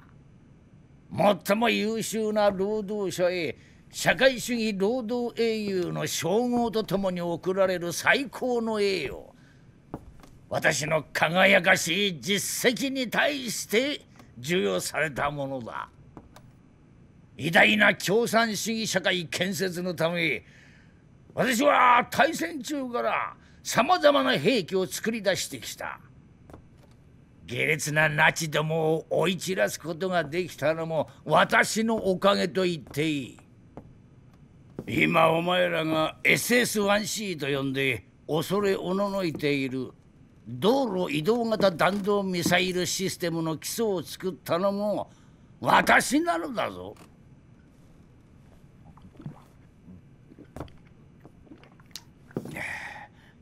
ずいぶん酔ってるな。言おうとしてるだけだ。今はこいつをやる以外にすることがない。奴のせいだ。奴？ソコロフだよ。あんたの目当ても奴なんだろう奴のせいで私は全権を奪われた。私の研究もお払い箱だ。見ろ画期的な移動核ミサイルシステム二足歩行戦車。二足歩行戦車？歩く戦車。ロボットだよ。猿から人への進化におけるミッシングリンクの話を知ってるか？この技術は歩兵と兵器をつなぐ歯車になる。まさに金属の歯車。兵器は革新的な進化を遂げる偉大な金属の歯車なのだ。メタルギア。だが私はただでは引かんぞ。泣き寝入りはごめんだ。私はこの資料をアメリカの友人に送ってやるのだ何だと？ここの連中は後悔する。そして自らが標的となった時身をもって私の偉大さを思い知ることになるのだ。そう。私の研究はソコロフの下品なシャゴホッドとは志が違う。戦車にロケットエンジンなどつけてどうする。それでソコロフは？そもそも戦車に付加すべきなのはロケットなどではないこれを見てみろ。いい靴だ。違う！足だ！どこへでも移動できる足なのだ！人類が直立歩行したようにな！それこそが真の革新だ！あんたもそう思うだろうが！だが上層部のバカどもはソコロフを選んだ。そのソコロフはどこに？私のプロジェクトは廃止賢者の遺産もソコロフに回された。何の話だ。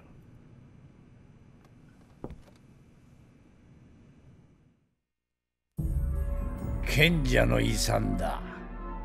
あんた賢者たちを知らんのか？大佐はその莫大な遺産を引き継いだのだ。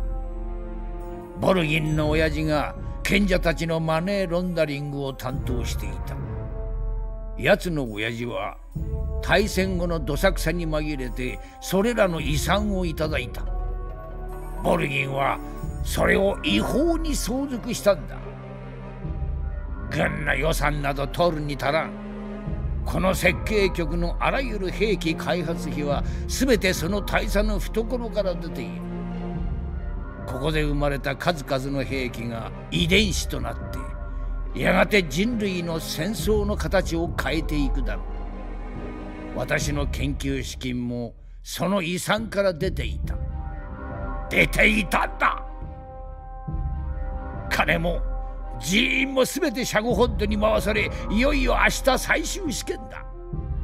ソコロフがボルギンの本拠地大要塞グロズニーグラードの兵器ショーで最終調整している間私はここで敵のスパイ相手に酒を飲むしかない。ソコロフはそこに移されたのか？ああ。シャゴホッドもそこにあるんだな。そうだ。おいグロズニーグラードへ行く気か。あの要塞は文字通り鉄壁だ。だろうな。死ぬぞ。そのつもりはない待て。なんだ？人の話を聞け。手を貸してやろうと言うんだよ。なんだって？褒めてくれた礼だ。俺が何を褒めた？靴だ。タチアナにもらったこの靴を褒めてくれた礼だよ。要塞への侵入ルートを教えてやる。その代わり必ず奴を連れ出しシャゴホッドを破壊してくれ。グロズニーグラードの下には地下壕が張り巡らされている。それをうまく使えば内部へ潜り込めるはずだ。山岳地帯に行くといい。地下壕への入り口がある。こいつをやろう。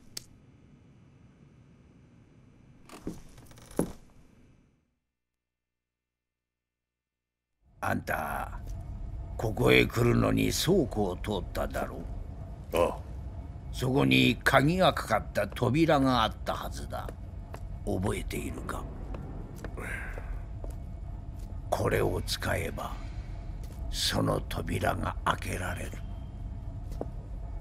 その向こうは広大な密林だ。その一番奥から山岳地帯へ登ることができる一度倉庫まで戻れ。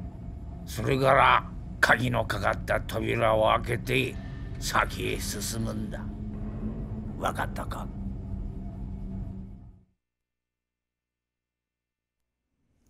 なぜ俺に協力を？私はソコロフのように亡命を考えたことなど一度もない。私はこの国が好きだ。この土地を愛しておる。他で暮らすことなど考えられん。私はこれからもこの偉大な祖国の英雄でいたいのだ。隅へ追いやられ朽ち果てていくなど耐えられん。もう夜明けだ。急ぐといい。私はもう少しここで飲ませてもらう。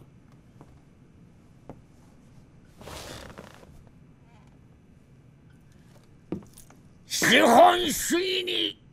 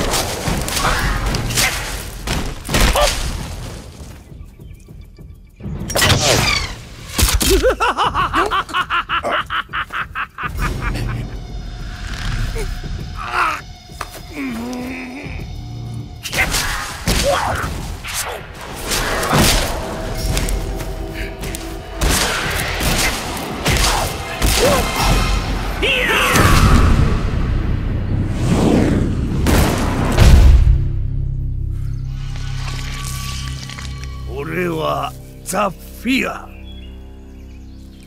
その矢には黒毒しぼ雲の毒が塗られている。時期に耐え難い激痛が全身を襲うだろう。体は麻痺し息もできずやがて心臓が止まる。しかしそれでは面白くない。また死ぬボスの教え子よ。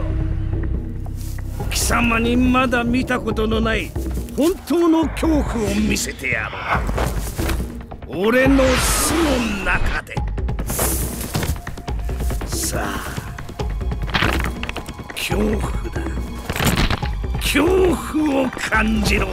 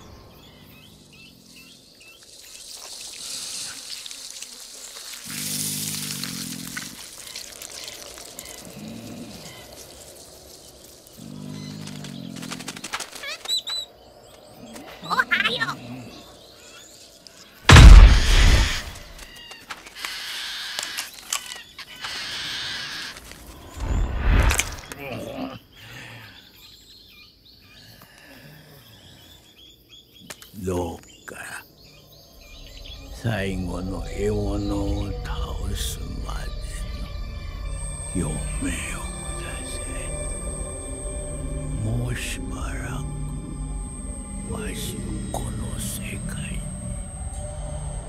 にわしはすでに一生分は眠った。あの世の分礼を言わせてもよくわしを起こしてくれた貴様が現れなかったら本当に永遠の眠りについていたところだ。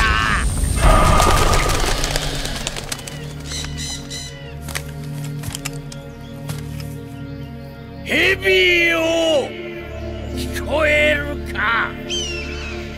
わしはジ・エンド貴様に本当の終焉を見せてやろう。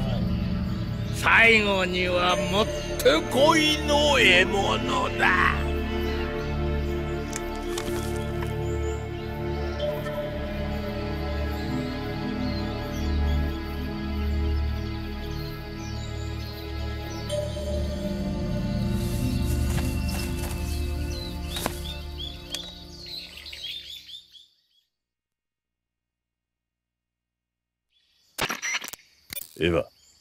例のスナイパーが現れた。ジエンドね。彼は狙撃の父と言われた。伝説の狙撃手よ。市街戦や海上での狙撃なら経験はあるんだが。森では。初めてだ。そう。その森は川高台広場の3つのエリアで構成されてる。彼はそのどこかであなたをアンブッシュしているはずよ。長期戦になりそうだな。体力勝負ね。気をつけてジエンドのカムフラージュ技術は神がかり的と聞くわ。動いた方が負けか。だが奴は100歳を超えてるんだろう。スタミナならこっちが有利だ。そうとは言えないかも。なぜ？彼は光合成するって聞いたことがある。化け物か。あとジエンドは森と話ができるそうよ。森を知り尽くしているわけだ。ええ。でもあなたを知ってるわけじゃない。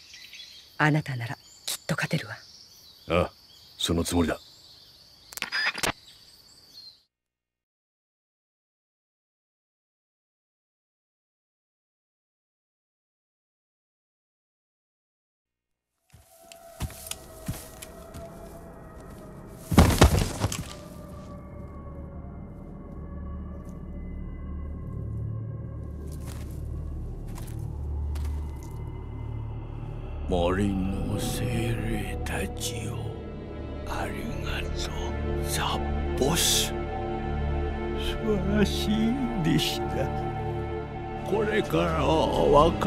世代の時代だ。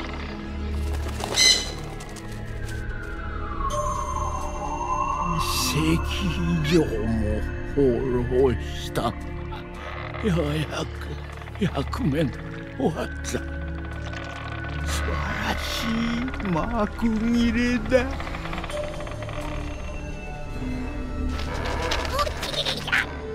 思い残すこと。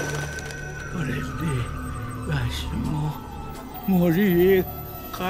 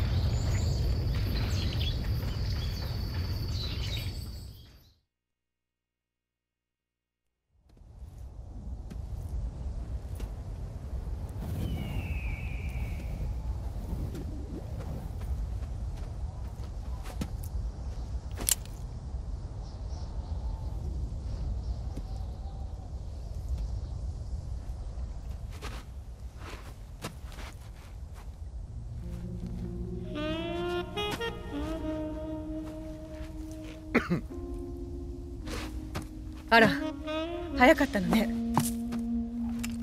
疲れているようだな。ええ大丈夫。二役が忙しくてちょっと寝不足なだけ。その傷は？大佐に。まさかバレたのか？だったら生きてはいないわ。彼の趣味よ。人をいたぶる。人を痛めつけて快楽を得る。最低の男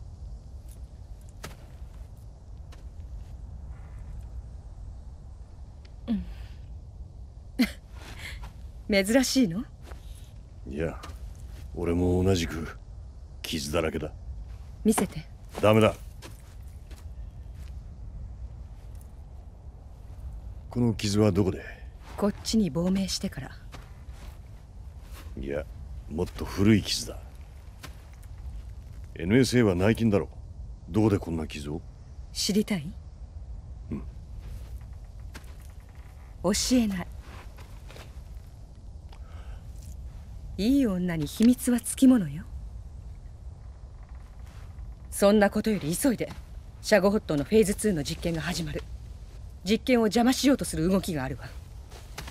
フルシチョフ彼の軍がこっちへ向かっている。それに対抗するために大佐は部隊を集結させている。もたもたしていると警戒がさらに厳重になる。例の鍵よこれで地下壕への扉が開くわ。その先を進めばグロズニーグラード内部へ出られる。これも持っていくといいわ。きっと役に立つはず。あとこれも。なんだ？これは。21世紀の食べ物よ。宇宙航海時代のね。たまには美味しいものも食べて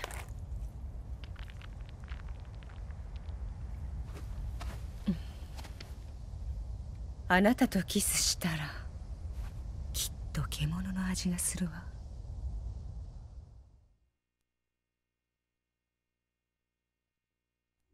ソコロフはグロズニーグラードのどこにいるかわかるか？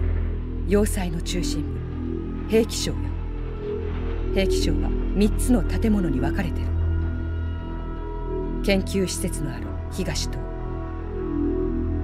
兵器の組み立てが行われる本島シャゴホットもここ。そして本島から渡り廊下でつながっている西島。ソコロフがいるのはこの西島よ。潜入するには東島から本島に入って本島の2階から渡り廊下を通ればいい。分かった。兵器省の西島だな。でも一つ問題があって。またか。西島のセキュリティは最高レベルなの大佐クラスでないと入れない。大佐クラス？いい。この写真を見て。イワン・ライデノビッチ・ライコフ少佐彼に化けるといいわ。どうやって？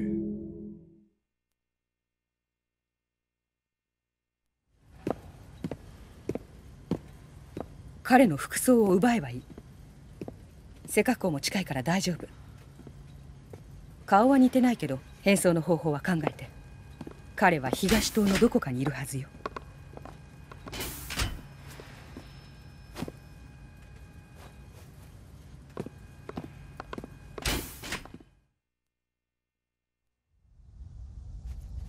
分かった。だがソコロフを連れ出せたとして脱出方法は上官からは君が用意すると聞いているが。ちゃんと準備してあるわ。北に30マイルのところに湖があるのそこにウィグが隠してある。ウィグ？最新鋭の表面降下機よ。表面降下機そんなもの俺は飛ばせないぞ。大丈夫。私は名パイロットよ。湖からの利水は厄介だ。バイクの扱いとは違うぞ。もっと繊細に扱わないと。もちろんそのつもりよ。バイクの運転を見たでしょ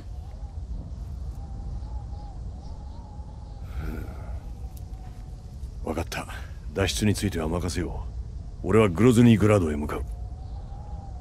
待って。聞いておきたいことがあるの。なんだ？ザ・ボスとはどんな関係だったの？俺の親であり師匠だった。恋人でもあった？それ以上の存在だ。それ以上？俺の半分はザ・ボスのものだ好きなの？そういう感情じゃない。嫌いなの？好きか嫌いか。そのどちらかでないといけないのか。そうよ。男と女の間柄はね。10年生死を共にした。とても言葉では言えない。そんなザ・ボスを殺せるの？ザ・ボスの暗殺。それがあなたの任務でしょ。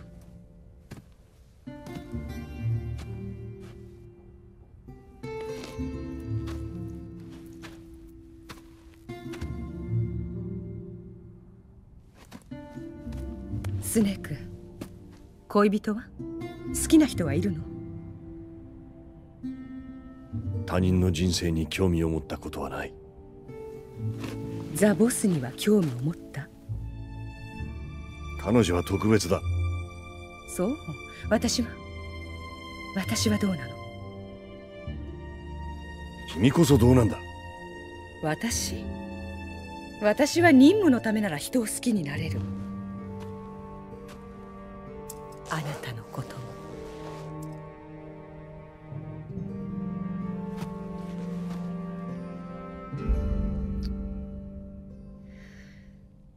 スネーク。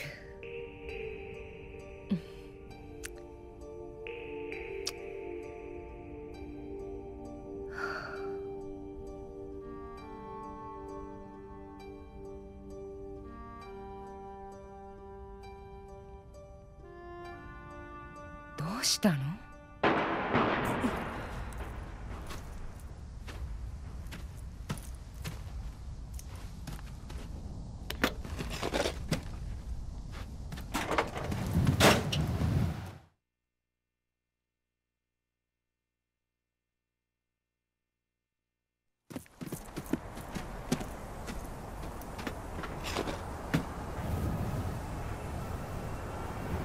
スネークそれじゃ気をつけてね。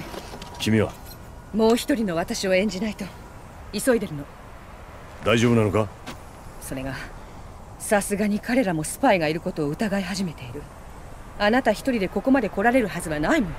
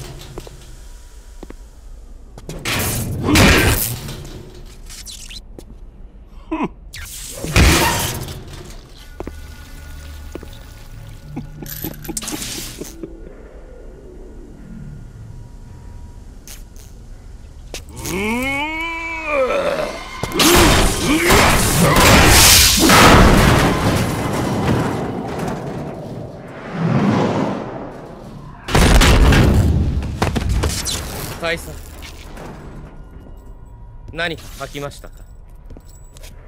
いやその前に死んだ。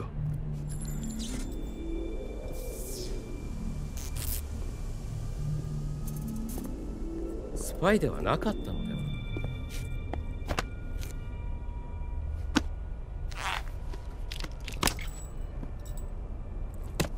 これを見ろ。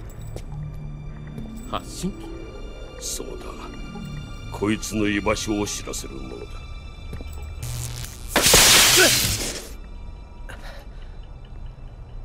しかしグラーニンがスパイだったかどうか。は奴は誰かに利用されていたのかもしれん。かもしれん。こいつも同志ですよ。いずれにせよもう必要ない男だ。こんなやり方納得できません。納得などする必要はない。私が司令官だ核砲弾の件。なんだ？またそのことか。軍務に報告する気か。これは戦争だ。いいか。冷戦という名の情報合戦なのだ。スパイは見つけ出さなければならない。やるかやられるかだ。お互いの目を摘むことだ。組織の結束には邪魔な感情だ。誰かが手引きしているはずだ。単独でできることはたかが知れている。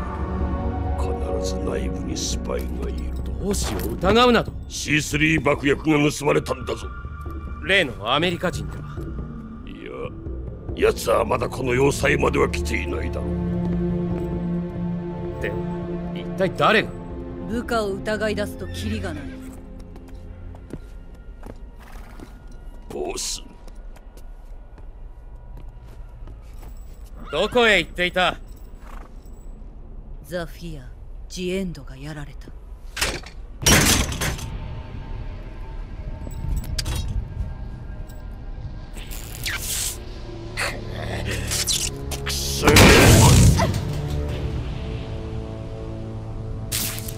アメリカの犬め。残るはザ・フューリーのみか。伝説のコブラ部隊がいともたやすくさすがだ惚れたのか。心配するな。あの男は私がやる。奴の狙いは何だ。ソコロフだけとは思えんアメリカの狙いはシャゴホットの破壊と大佐が受け継いだ。賢者の遺産。まさか。あの遺産をそして私の抹殺。大佐ここの警備を強化しろ。彼は必ず来る。私はデイビー・クロケットを取ってくる。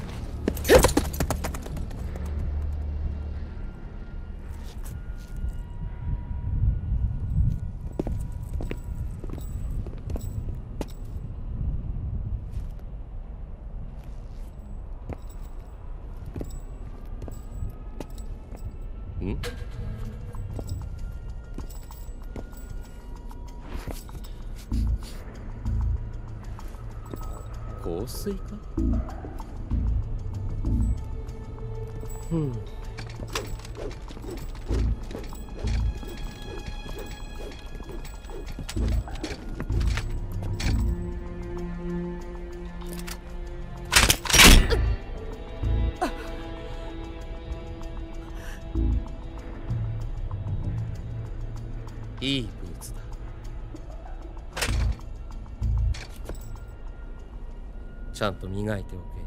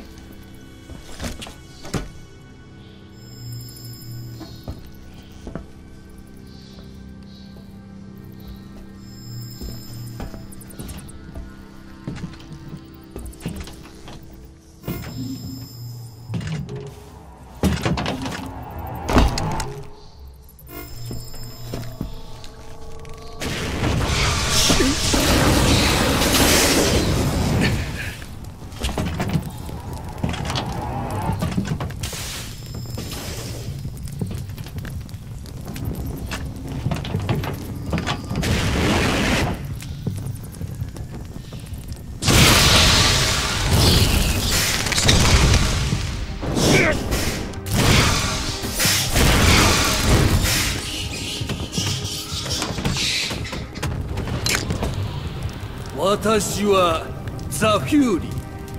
ー怒りの炎で貴様を焼き殺してやろう私は宇宙からの機関車。その時灼熱の世界を見た。そこで見出したものは何だと思う？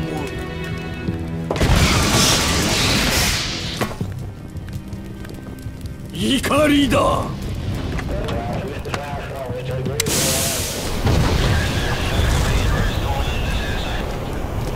ことへの憤怒だ。お前にもあの灼熱のブラックアウトを感じさせてやろう。